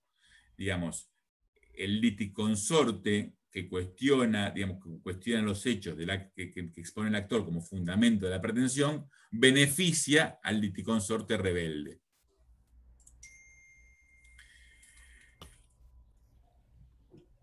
Vamos ahora a la preferencia del primer embargante, que es el tema que yo le dije que para mí quedaba un poco en tela de juicio con el plenario Sertok. Y acá encontré dos fallos de la sala F con distinta composición. En este primer fallo, lo que se dice que la eficacia em, en el cual se establece que la prioridad del 218 solo tiene eficacia respecto de la suma solo tiene eficacia respecto de la suma por la cual se dispuso la medida y no por las ampliaciones. Tal prelación se determina los inmuebles por la prelación tiene que ver solamente por el orden de cada anotación.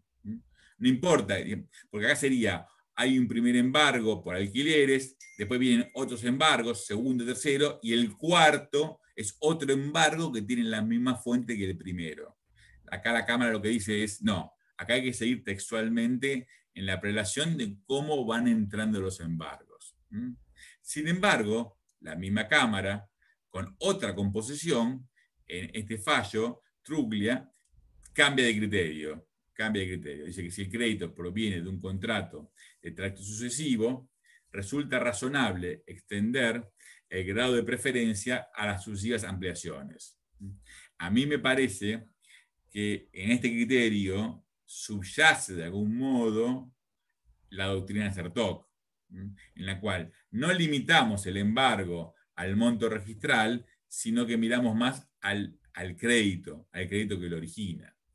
Repito, Puede ser una cuestión, digamos, eh, seguramente es un tema interpretativo y que puede haber una u otra solución. Lo que a mí me parece, repito, es la importancia de dar certeza jurídica sobre esta, sobre esta materia. Y finalmente, y para posibilitar el, debate e intercambio de opiniones, quisiera tratar este temita rápidamente sobre la relación del embargo con los créditos privilegiados. El embargo es simplemente una preferencia, no es un privilegio.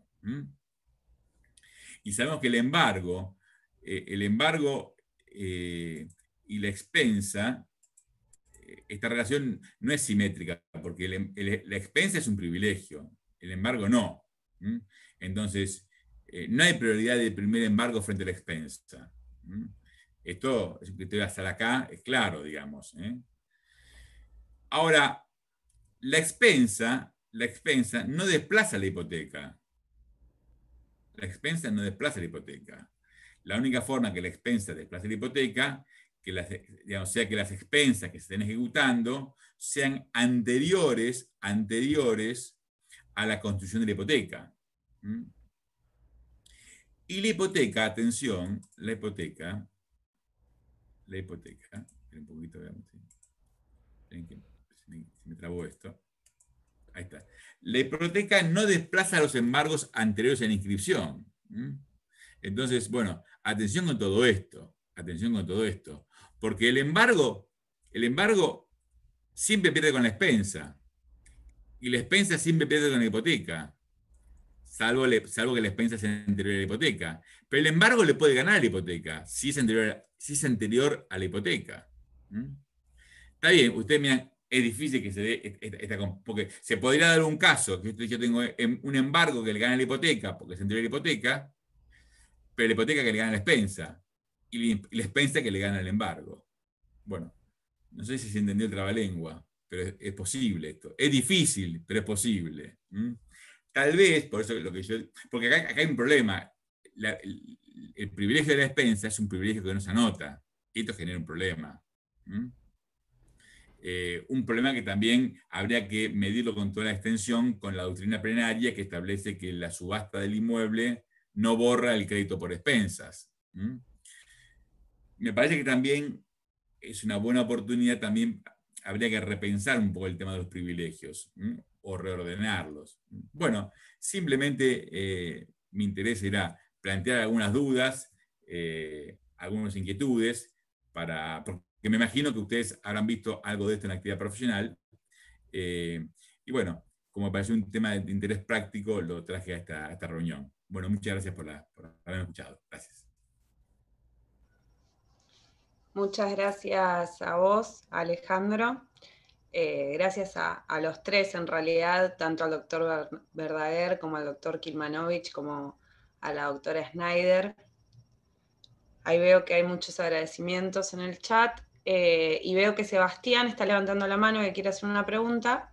Así que le vamos a dar micrófono para que la pueda realizar. Lo que sí les pido es que las preguntas sean sobre, obviamente, temas vinculados a los que vimos recién en cada una de las exposiciones y que vayan dirigidas a eh, el expositor o la expositora a la que se lo quieran preguntar. Bueno, ahí Sebastián te estoy solicitando que actives el audio. Gracias Silvina, buenas noches. Bueno, felicito a Gradados por la organización de este prestigioso evento. Quiero consultar al doctor Kielmanovich que explicó en materia de imposición de costas, eh, bueno, que el código establece la solidaridad en el caso del de litisconsorcio necesario. Eh, pregunto, ¿qué, ¿qué, sucede si uno de los litisconsortes, legitimado pasivo, decide allanarse a la demanda? Y por otro lado, también refirió a eh, la integración de la litis, y quiero preguntar que, eh, cuándo queda integrada y si es necesario notificar a todos los eh, litisconsortes. Y por otro lado, a la doctora Schneider, en la acción de impugnación del reconocimiento, ¿qué efectos tiene la negativa del reconociente a someterse a las pruebas de ADN? Eso es todo. Bien, bueno, eran varias consultas en una.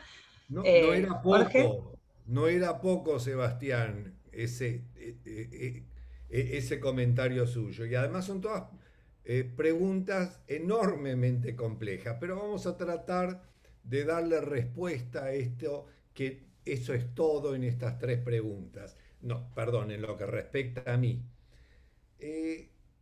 yo lo que dije es que como regla la eh, obligación del pago de las costas es simplemente mancomunada, salvo disposición legal en contrario. Si leemos el artículo 11 de la 27423, habla que la condena en costas será solidaria respecto de los eh, condenados.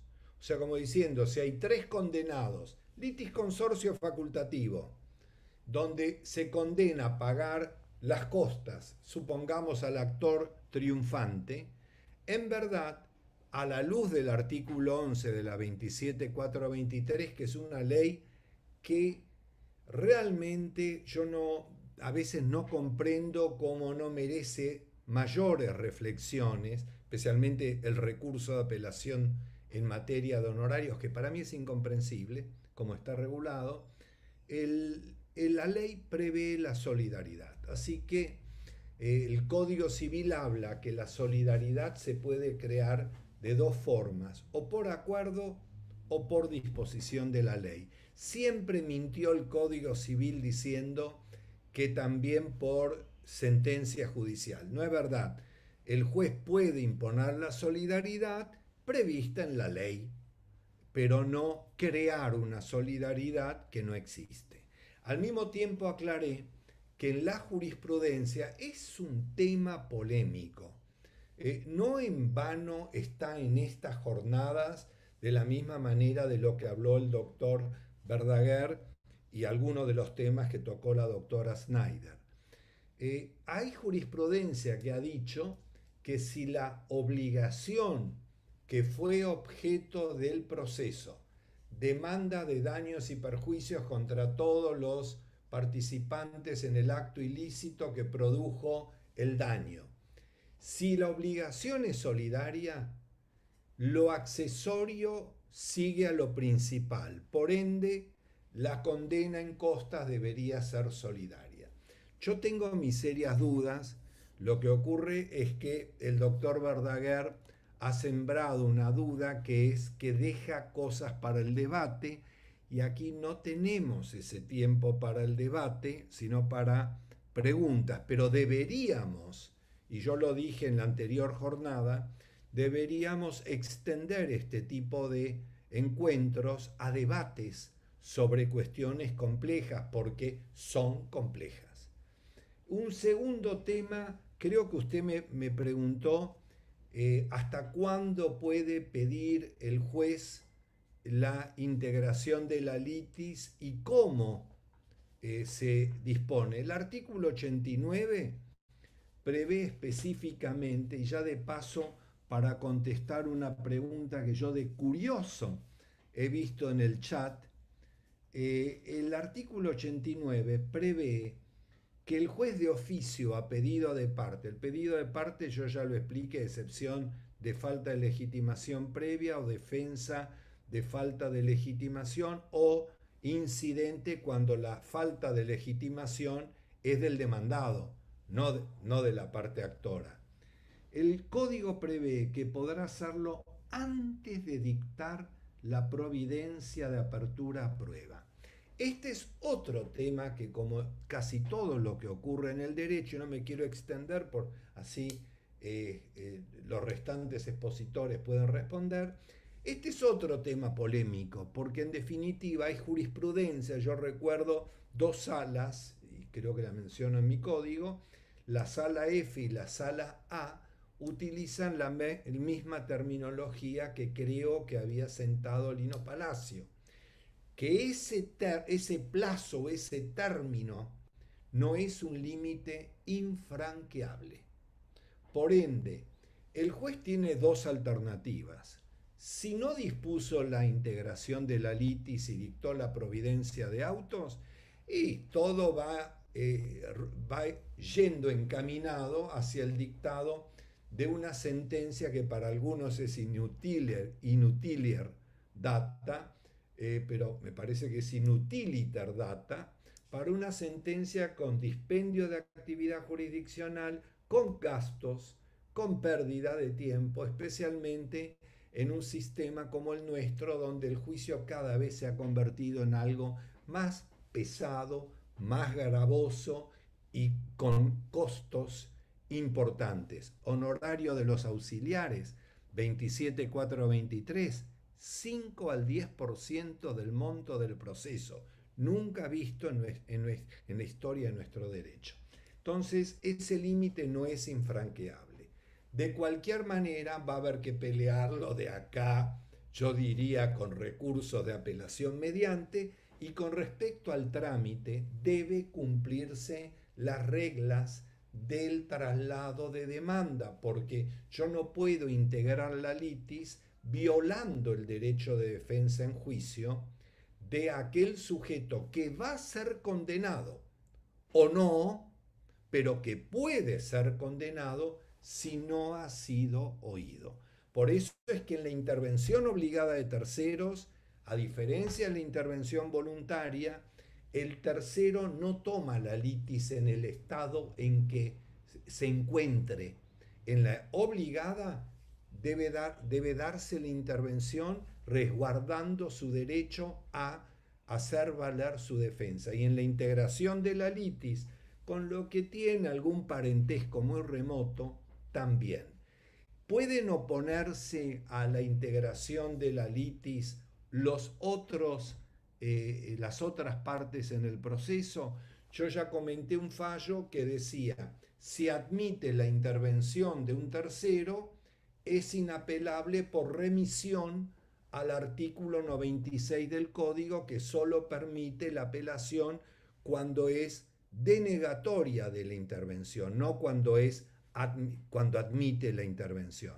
Yo entiendo que podrán oponerse a lo que quieran, pero que en definitiva, si admite la, la integración de la litis, eh, podrán apelar de acuerdo con las reglas generales. Para mí no se aplica el 96. Espero que con esto lo mío haya sido contestado, Sebastián. Eh, a ver, con relación a la pregunta que me hiciste, es en, en, una acción de impugnación de reconocimiento la negativa a someterse al ADN. Bueno, ahí, como dije yo al principio, esto eh, no hay una respuesta genérica, hay que ver caso, a caso. Eh, y quién ha iniciado la acción y cuál es el motivo por el cual es eh, la negativa a someterse a, ese examen de ADN. Y tengamos en cuenta que la importancia de este tipo de procesos, sobre todo cuando están involucrados niños, niñas o adolescentes, y la participación de la asesoría, lo que siempre se intenta es que se realice la, prueba de ADN, porque si no, no tenés ninguna manera de conocer la realidad biológica podría llegar a obtener una sentencia, pero eso no hace al interés superior del niño. Por eso una cosa es cuando por ahí participan adultos, que podría tener una solución, y otra cuando está involucrado un niño, una niña o un adolescente. Y lo mismo quien ha iniciado la acción y quiénes son las otras partes del proceso, porque si obviamente vos, eh, como bien te marca el código, la amplitud de la prueba y que el juez puede tomar la negativa como un indicio. Si vos, por ejemplo, traes una prueba de ADN de quién es el padre biológico y ahí te da que es un 99,99, ahí en ese caso el no someterse, el padre em, quien lo ha reconocido, carecería de, importancia porque yo ya tengo otra prueba que me da la certeza que con esa prueba podría desplazar. Es, es la conjunción del análisis de todas las pruebas. Por eso, acá lo importante es que tengamos en cuenta que eh, hacia el interés del niño conocer realmente la, realidad biológica y eso podría llegar, sino también abrir que en un futuro se pueda volver a plantear. Y otra cosa también es si están involucradas o no técnicas de reproducción asistida, porque ahí también es otro capítulo aparte. Todo el tema de la prueba en este tipo de procesos merecería una jornada y analizar los distintos supuestos que, se hacen, porque cada caso te trae un abanico de, de, situaciones. Muchas gracias, Marisa, y muchas gracias, Jorge. Bueno, acá tenemos a Ornela, que también estaba levantando la mano. Ahí, Ornela, te solicité que actives el micrófono. Sí, buenas tardes. ¿Se escucha? Se escucha. Perfecto. Bueno, muchísimas gracias a los expositores y a graduados por la posibilidad de participar de estas jornadas que son muy esclarecedoras y que nos permiten ponernos en contacto con temas tan álgidos como estos que, que se han expuestos. Eh, mi pregunta eh, está referida a embargos. Le consulto al doctor Verdaguer, eh, sin perjuicio de que quizá otro de los expositores también tenga opiniones al respecto. Me, me, surgía la, pregunta en relación a un embargo definitivo, por ejemplo, en un juicio eh, laboral, aquí en los juzgados nacionales he tenido un embargo trabado eh, eh, sobre un inmueble inscripto en el registro de la propiedad inmueble y previo a proseguir con el trámite de la subasta, se toma conocimiento de una cuenta bancaria. Entonces, mi consulta es la siguiente. ¿Podría plantearse que eh, se trabe una medida de embargo bancario eh, sin desistir de ese embargo sobre el inmueble a las resultas de lo que pudiera eh, surgir de este embargo bancario por un principio de economía procesal y, bueno, y obviamente si se concreta este embargo sobre sumas, eventualmente, por supuesto, desistir de ese embargo sobre bien inmueble. Digo, eh, considerando este principio de economía procesal.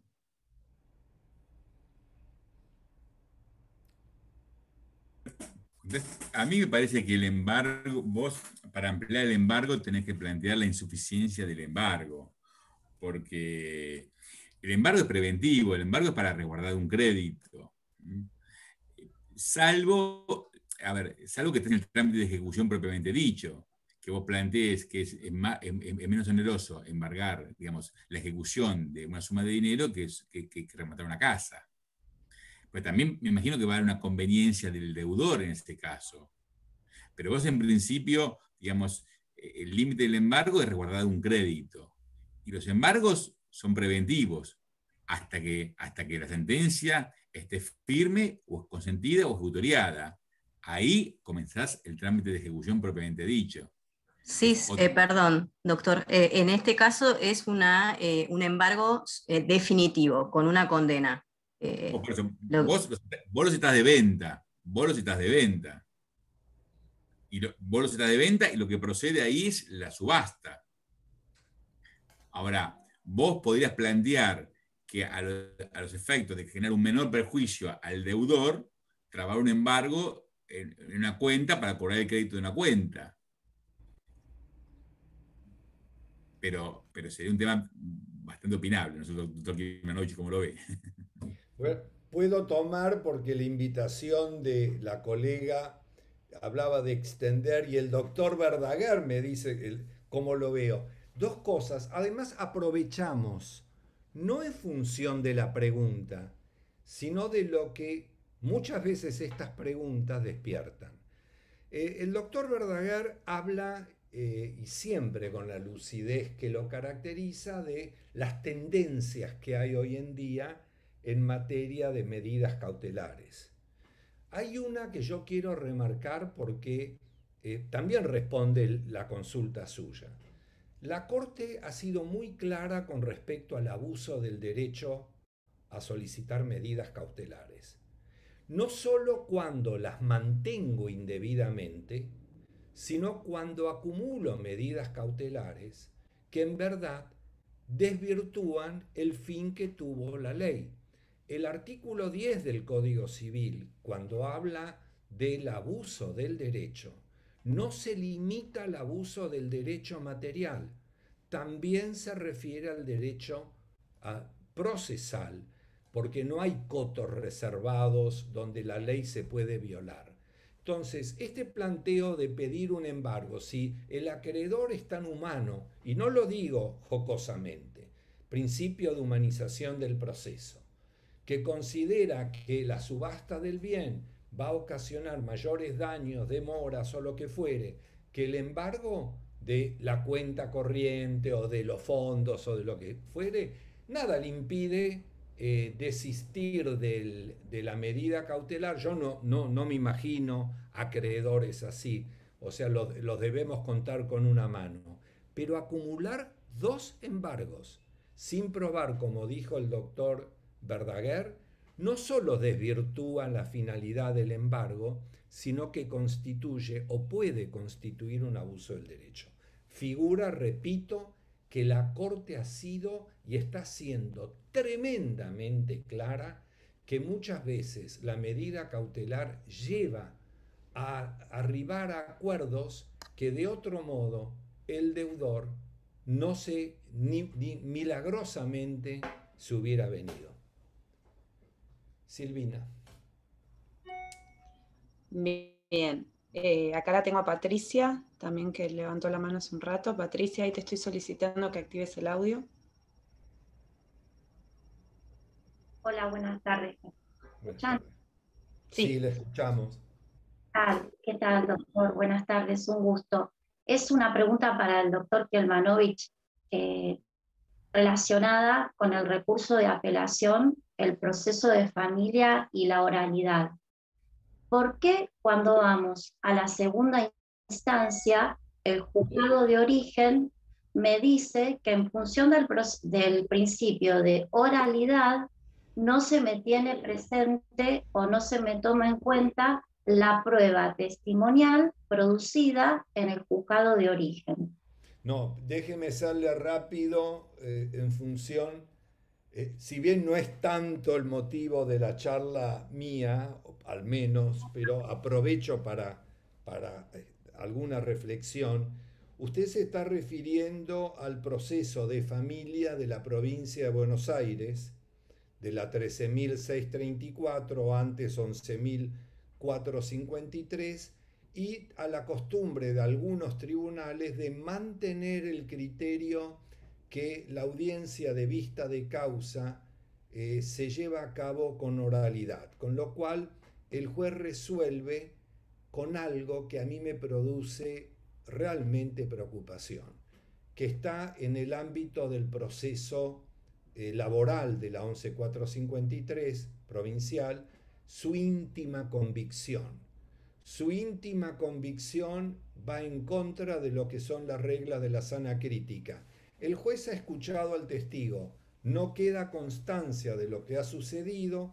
Hoy la 13.634 prevé el recurso de apelación ya frente a la decisión del juez unipersonal, pero es un recurso de apelación que nace, yo diría, nace enfermo. Y nace enfermo porque cómo puede revisar la Cámara el pronunciamiento de primera instancia cuya eh, eh, materia de agravio puede ser la apreciación o valoración de la prueba y la apreciación de los hechos, cuando los hechos sí están en la demanda y contestación del juicio sumario que como regla corresponde aplicar, pero las pruebas no. Probablemente el error es nuestro de abogado, y con esto concluyo, porque en aquellos departamentos donde no se vuelque en actas oralidad actuada, porque no hay oralidad pura, un sistema de oralidad pura viola el derecho de defensa en juicio.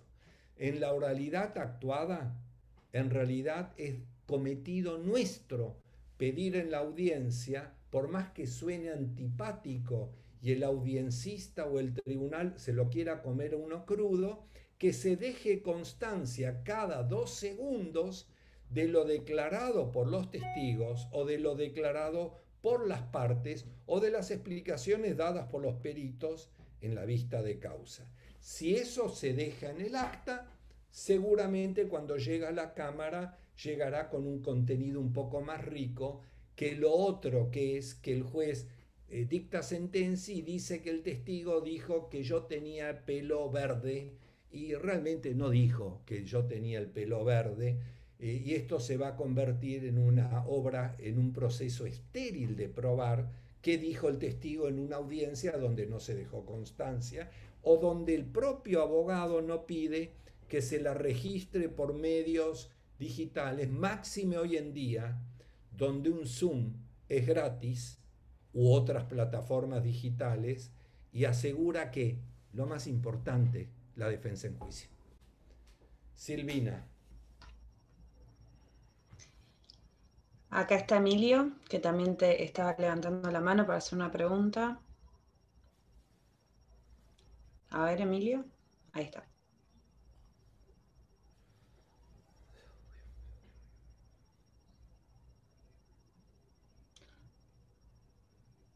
No se te escucha. No sé si no te está funcionando el micrófono porque lo veo habilitado.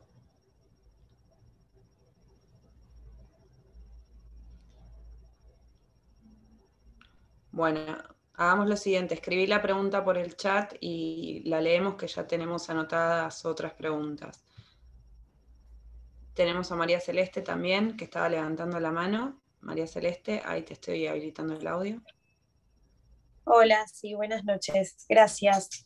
Bueno, mi consulta es a la doctora Schneider em, y la, duda es la siguiente.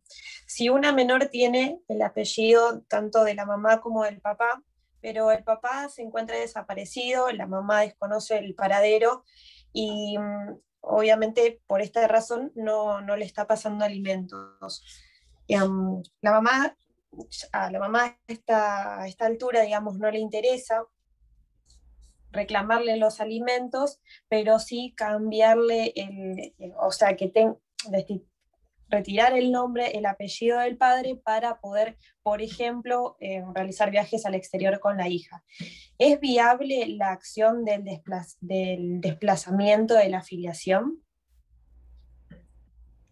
A ver, acá el, desplazamiento y la afiliación tiene que, más que ver con la, realidad biológica o no, con la acción que se inicie. Eso sería más eh, la suspensión de la responsabilidad parental, lo que estás planteando, y que tampoco tiene que tener que ver mucho con el tema del apellido y tampoco es eh, una decisión de la madre, digamos. Eh, vuelvo a decir, todos estos temas de, familia están involucrados los niños, niñas, adolescentes, hay que ver qué hace al mejor interés. Si vos tenés eh, este caso donde eh, lo que se pretende es eh, algún viaje al exterior o, el ejercicio de la responsabilidad parental por, aquel, por la progenitora, lo que debería iniciarse es eso, es la suspensión de, la responsabilidad parental que independientemente del tema del apellido y de ninguna manera el tema de la afiliación, esto no, no, tiene nada que ver la eh, desplazar la, afiliación para este tema. Sí con, con, el tema de la suspensión de la responsabilidad parental, porque el abandono, de, que es una de las causales, ¿no? el abandono de uno de los progenitores, aunque quede en cuidado del otro, da lugar a, la suspensión de la, del ejercicio de la responsabilidad parental. Bueno, sí, era una, era la duda, digamos, pero como había planteado ahora esta, esta acción, digamos, de desplazamiento, pensé que por ahí podía ser viable, pero bueno, tiene que ver más con un tema biológico, como, como explicaba usted. Sí, sí, a ver, si ese padre que se desentendió no es el padre, sí, y ahí sí, pero bueno, vuelvo a decir, no, no, no sé si, si en el caso concreto el quien está desaparecido no es el padre biológico, da lugar a la acción y obviamente al ser desplazado como padre pierde el ejercicio de la responsabilidad parental. Pero si es el padre, no, no, no corresponde esa, esa acción. No, sí, está, es el padre, está confirmado que es así. Así que bueno, muchas gracias, doctora. No, nada. Bueno, muchas gracias. Ahora tenemos una pregunta para el doctor Verdaguer. Dice, juicio de expensas con embargo preventivo, trabado y sentencia firme. ¿Cómo se, cómo se materializa la inscripción del auto de subasta? ¿Cómo es? A ver, última pregunta. Juicio de expensas. Con, embargo, preventivo, trabado y sentencia firme. ¿Cómo se materializa la inscripción del auto de subasta? Bueno, pero el embargo está designado por las pensas. Mm, no dice más nada, profe. Verónica, que fue la que hizo, a ver, estoy viendo a ver si contestó algo, pero no. No, pero lo que, a ver. Eh, sí, puso. bueno, se, se, dicta, digamos, lo que pasa es que no hay, lo que hay, no, hay, no hay un bloqueo registral, que es, es un problema, ¿no? Cuando se hace la subasta, no hay técnicamente un bloqueo registral el auto subasta se subasta el inmueble. Se fija, se fija, se fija digamos, se, edita un auto subasto normal, no hay ninguna particularidad. No, termino de, entender bien la pregunta, porque digamos, es un auto Ahí justo mm, pidió el audio, se lo voy a dar, así nos desasnamos con la pregunta. Verónica, estoy tratando, ahí tenés audio. Hola, buenas noches. Eh, gracias a los tres expositores, al doctor Kelmanovich, ya sabe que yo soy su fiel seguidora de la defensora de Silvina, para que me ubique. Eh, ya se ríe, ya sabe quién soy. Bueno, Doc, eh, buenas noches y gracias a los tres. doctor Verdaguer, puntualmente hay una, un juicio de expensas muy viejo que se pidió el auto de subasta, está el embargo trabado, obviamente con liquidaciones aprobadas y todo, Em, y lo que estamos tratando de hacer es inscribir para darle prioridad el auto de subasta, que en algún momento lo hemos visto en algún curso puntualmente de, graduados de procesal. Eh, la duda que me surge, porque yo nunca lo había visto y estoy tratando de implementarlo ahora, es para darle publicidad a terceros de la existencia de, de la subasta decretada, más allá de un embargo preventivo que pueda estar trabado. La consulta es si es factible trabar el auto de subasta, eh, inscribirlo en realidad, conjuntamente con un embargo preventivo que pueda estar ya, ya trabado y, en base a qué podría fundamentarlo, porque el juzgado medio como que me dijo que, estamos, que ellos están incursionando con mi pedido, como que estoy pidiendo algo que... Yo nunca vi la inscripción registral de un auto de subasta. El juez ordena la subasta y, notifica a los otros jueces embargantes. Eh, quien podría cuestionar, quien podría cuestionar, digamos, llevar adelante la subasta sería otro acreedor. Pero no hay, digamos, no hay un, digamos, salvo que hayan cambiado las leyes del registro, yo no me he enterado, pero no hay una forma de un bloqueo registral. cuando uno compra un inmueble, el escribano hace un bloqueo registral. Tendría que haber un bloqueo registral para las subastas, pero no lo hay. Entonces, yo cuando ordeno la subasta de un inmueble, notifico a los otros eh, jueces embargantes. Y puede ocurrir que un acreedor de otro juicio plantee que, digamos, el juicio de ejecución está más avanzado en, otro proceso y pida, digamos, subastar allá. En cuyo caso habría una suerte de conflicto con otro juez, quien, lleva adelante la, la subasta. Pero yo nunca vi la inscripción registral de un auto de subasta. Yo al menos, nunca lo vi. Y nunca, no tengo registro de que me hayan planteado. Y creo que no está mal de la memoria. Eh, no, lo he visto, no lo he visto. Pero igual ahí, subaste, subaste un juez, subaste otro juez, lo que viene es cómo se liquida, cómo se, cómo se distribuye el producido de la subasta. Y ahí juegan los embargos, el orden de la operación. Y el super, y el super acreedor privilegiado que son las despensas, ¿no? Pero no, no, te repito, no conozco, no, no conozco la inscripción del auto de subasta en el registro, eso no lo conozco. Bueno, le doy el audio ahora a Mercedes. Mercedes, estoy tratando de reactivarte el audio. Bien, ahora sí. Gracias ante todo por todo y por tanto. Eh, doctor Kiernamovich, tengo una duda sobre el límite de los eh, litis consortes eh, facultativos.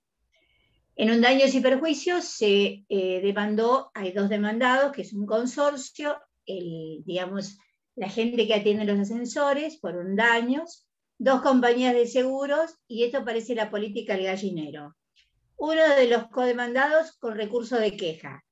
Las dos compañías pagando sus sumas aseguradas y el consorcio diciendo que no paga hasta que esto no se resuelva. Más sumado, el actor que está tratando de demandar a una compañía de seguros eh, más allá del límite de la suma asegurada porque dice que él elige a quién embarga. Entonces, em, es una situación muy difícil porque cada uno está haciendo una cosa totalmente diferente y son todos codemandados litis consortes facultativos porque fueron el actor los eligió y los demandó. Eh, a ver, doctora, el tema no es tanto la elección y demás, sino la eh, escindibilidad o no de la relación jurídica. Hay por ahí también una pregunta que aparece eh, con respecto a alguna obligación. Hay obligaciones que uno cree que son solidarias, el código las denomina concurrentes, se originan, son muy parecidas, pero se originan en distintas causas. Para mí el asegurador no es un obligado solidario, es un obligado concurrente, o sea, él debe pagar en virtud del contrato. En cambio, el asegurado debe pagar en virtud del daño que generó de la responsabilidad por el daño causado. Eh, lo otro es un problema de si se trata de un verdadero litisconsorcio facultativo, esto que hemos hablado acá de la eh, autonomía de gestión y de la individualidad de las pretensiones, si yo demando a, los, a la camioneta que choca con un coche y a raíz de ello mata a un peatón, los herederos demandan, los herederos podrán demandar a los dos coches o podrán demandar a cualquiera de ellos porque son solidariamente responsables. pero no hay un litisconsorcio necesario. O sea, Ah. solidaridad no significa litisconsorcio necesario. Para mí hay un litisconsorcio inocultablemente facultativo, sin perjuicio de la cosa juzgada entre deudores eh, solidarios, sin perjuicio de la oponibilidad o del beneficio para uno o para otro, pero no es un litis consorcio necesario. De hecho, no nos da el tiempo, yo no estoy de acuerdo con la figura del litis consorcio impropio al que se refería eh, Lino y hay jurisprudencia que también lo refiere, porque no hay un litis consorcio. Hay una pluralidad de demandados en el caso de la obligación concurrente. Fíjese que el abogado eh, es acreedor de su propio cliente y del condenado en costas. O sea, si no paga el condenado en costas, él puede ir contra su propio cliente. ¿Significa que es deudor solidario? No, significa que hay una obligación concurrente. Igual es discutible, igual hay jurisprudencia que dice a veces lo contrario. Muchas gracias, doctor, eh, muy amable. Gracias, gracias. Doctora, ha sido un gusto. Bueno, ahora le doy la palabra a Emilio, que Emilio ya había tenido audio y ya vamos cerrando, así no les robamos más tiempo. Emilio, ya tenés audio.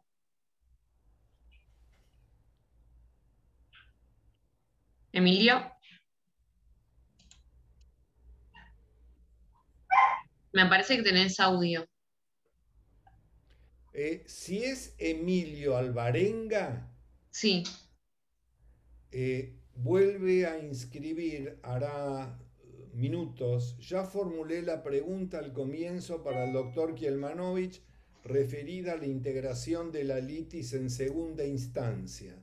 Y pide disculpas por lo del micrófono, debe tener algún problema. algún inconveniente. Aprovecho, eh, aprovecho, Emilio, rápidamente. Yo ya mencioné que el límite, la valla del artículo 89 es eh, antes de decretar la apertura a prueba o, aunque no lo dice el código, pero debería ser así, declarar la cuestión de puro derecho porque si declara la si no hay apertura a prueba, mal va a proveer la prueba. Eh, si puede hacer valer la integración a posteriori. El juez, yo entiendo que sí, incluso los dos fallos que mencioné, uno es Manuel Rodríguez eh, de la sala A, en los dos fallos habla que de lo que se procura en definitiva es de darle la oportunidad al litis consorte a intervenir y que el tribunal no tenga que terminar rechazando la demanda por falta de integración con todos los perjuicios que ello supone en materia de costa, de tiempo, de distracción de la función jurisdiccional y demás. Que en cámara se pueda pedir eh, la integración de la litis y yo supongo que eh, por más que me hablaba en la pregunta del despacho saneador, el despacho saneador debería haberlo ejercido el tribunal antes. Ahora, si se ha apelado porque no se dispuso la integración de la litis, por supuesto que la Cámara, más allá de la opinión que yo les di del fallo de San Juan, que dice inapelable la que dispone la, intervención, inapelable la otra, yo creo que la Cámara, por supuesto, que podrá resolver si correspondía o no correspondía integrar la litis eh, o hacer lugar a la excepción de falta de legitimación eh, deducida por la parte, o finalmente a la sentencia en la cual resuelve la defensa. Pero no, no me imagino una integración de la litis cuando se ha dictado sentencia de primera y demás. Creo que se podrá apelar esa sentencia por no haber integrado la litis, si ese fue el motivo. Y yo algo hablé de la apelabilidad incluso de la oponibilidad en la etapa de ejecución de sentencia de la excepción de falsedad, excepción que yo creo que todos nosotros los abogados, y no le quiero preguntar al doctor Verdaguer, pero calculo que en nuestra experiencia uno verá una excepción de falsedad de la ejecutoria una vez cada muerte de obispo, ¿no?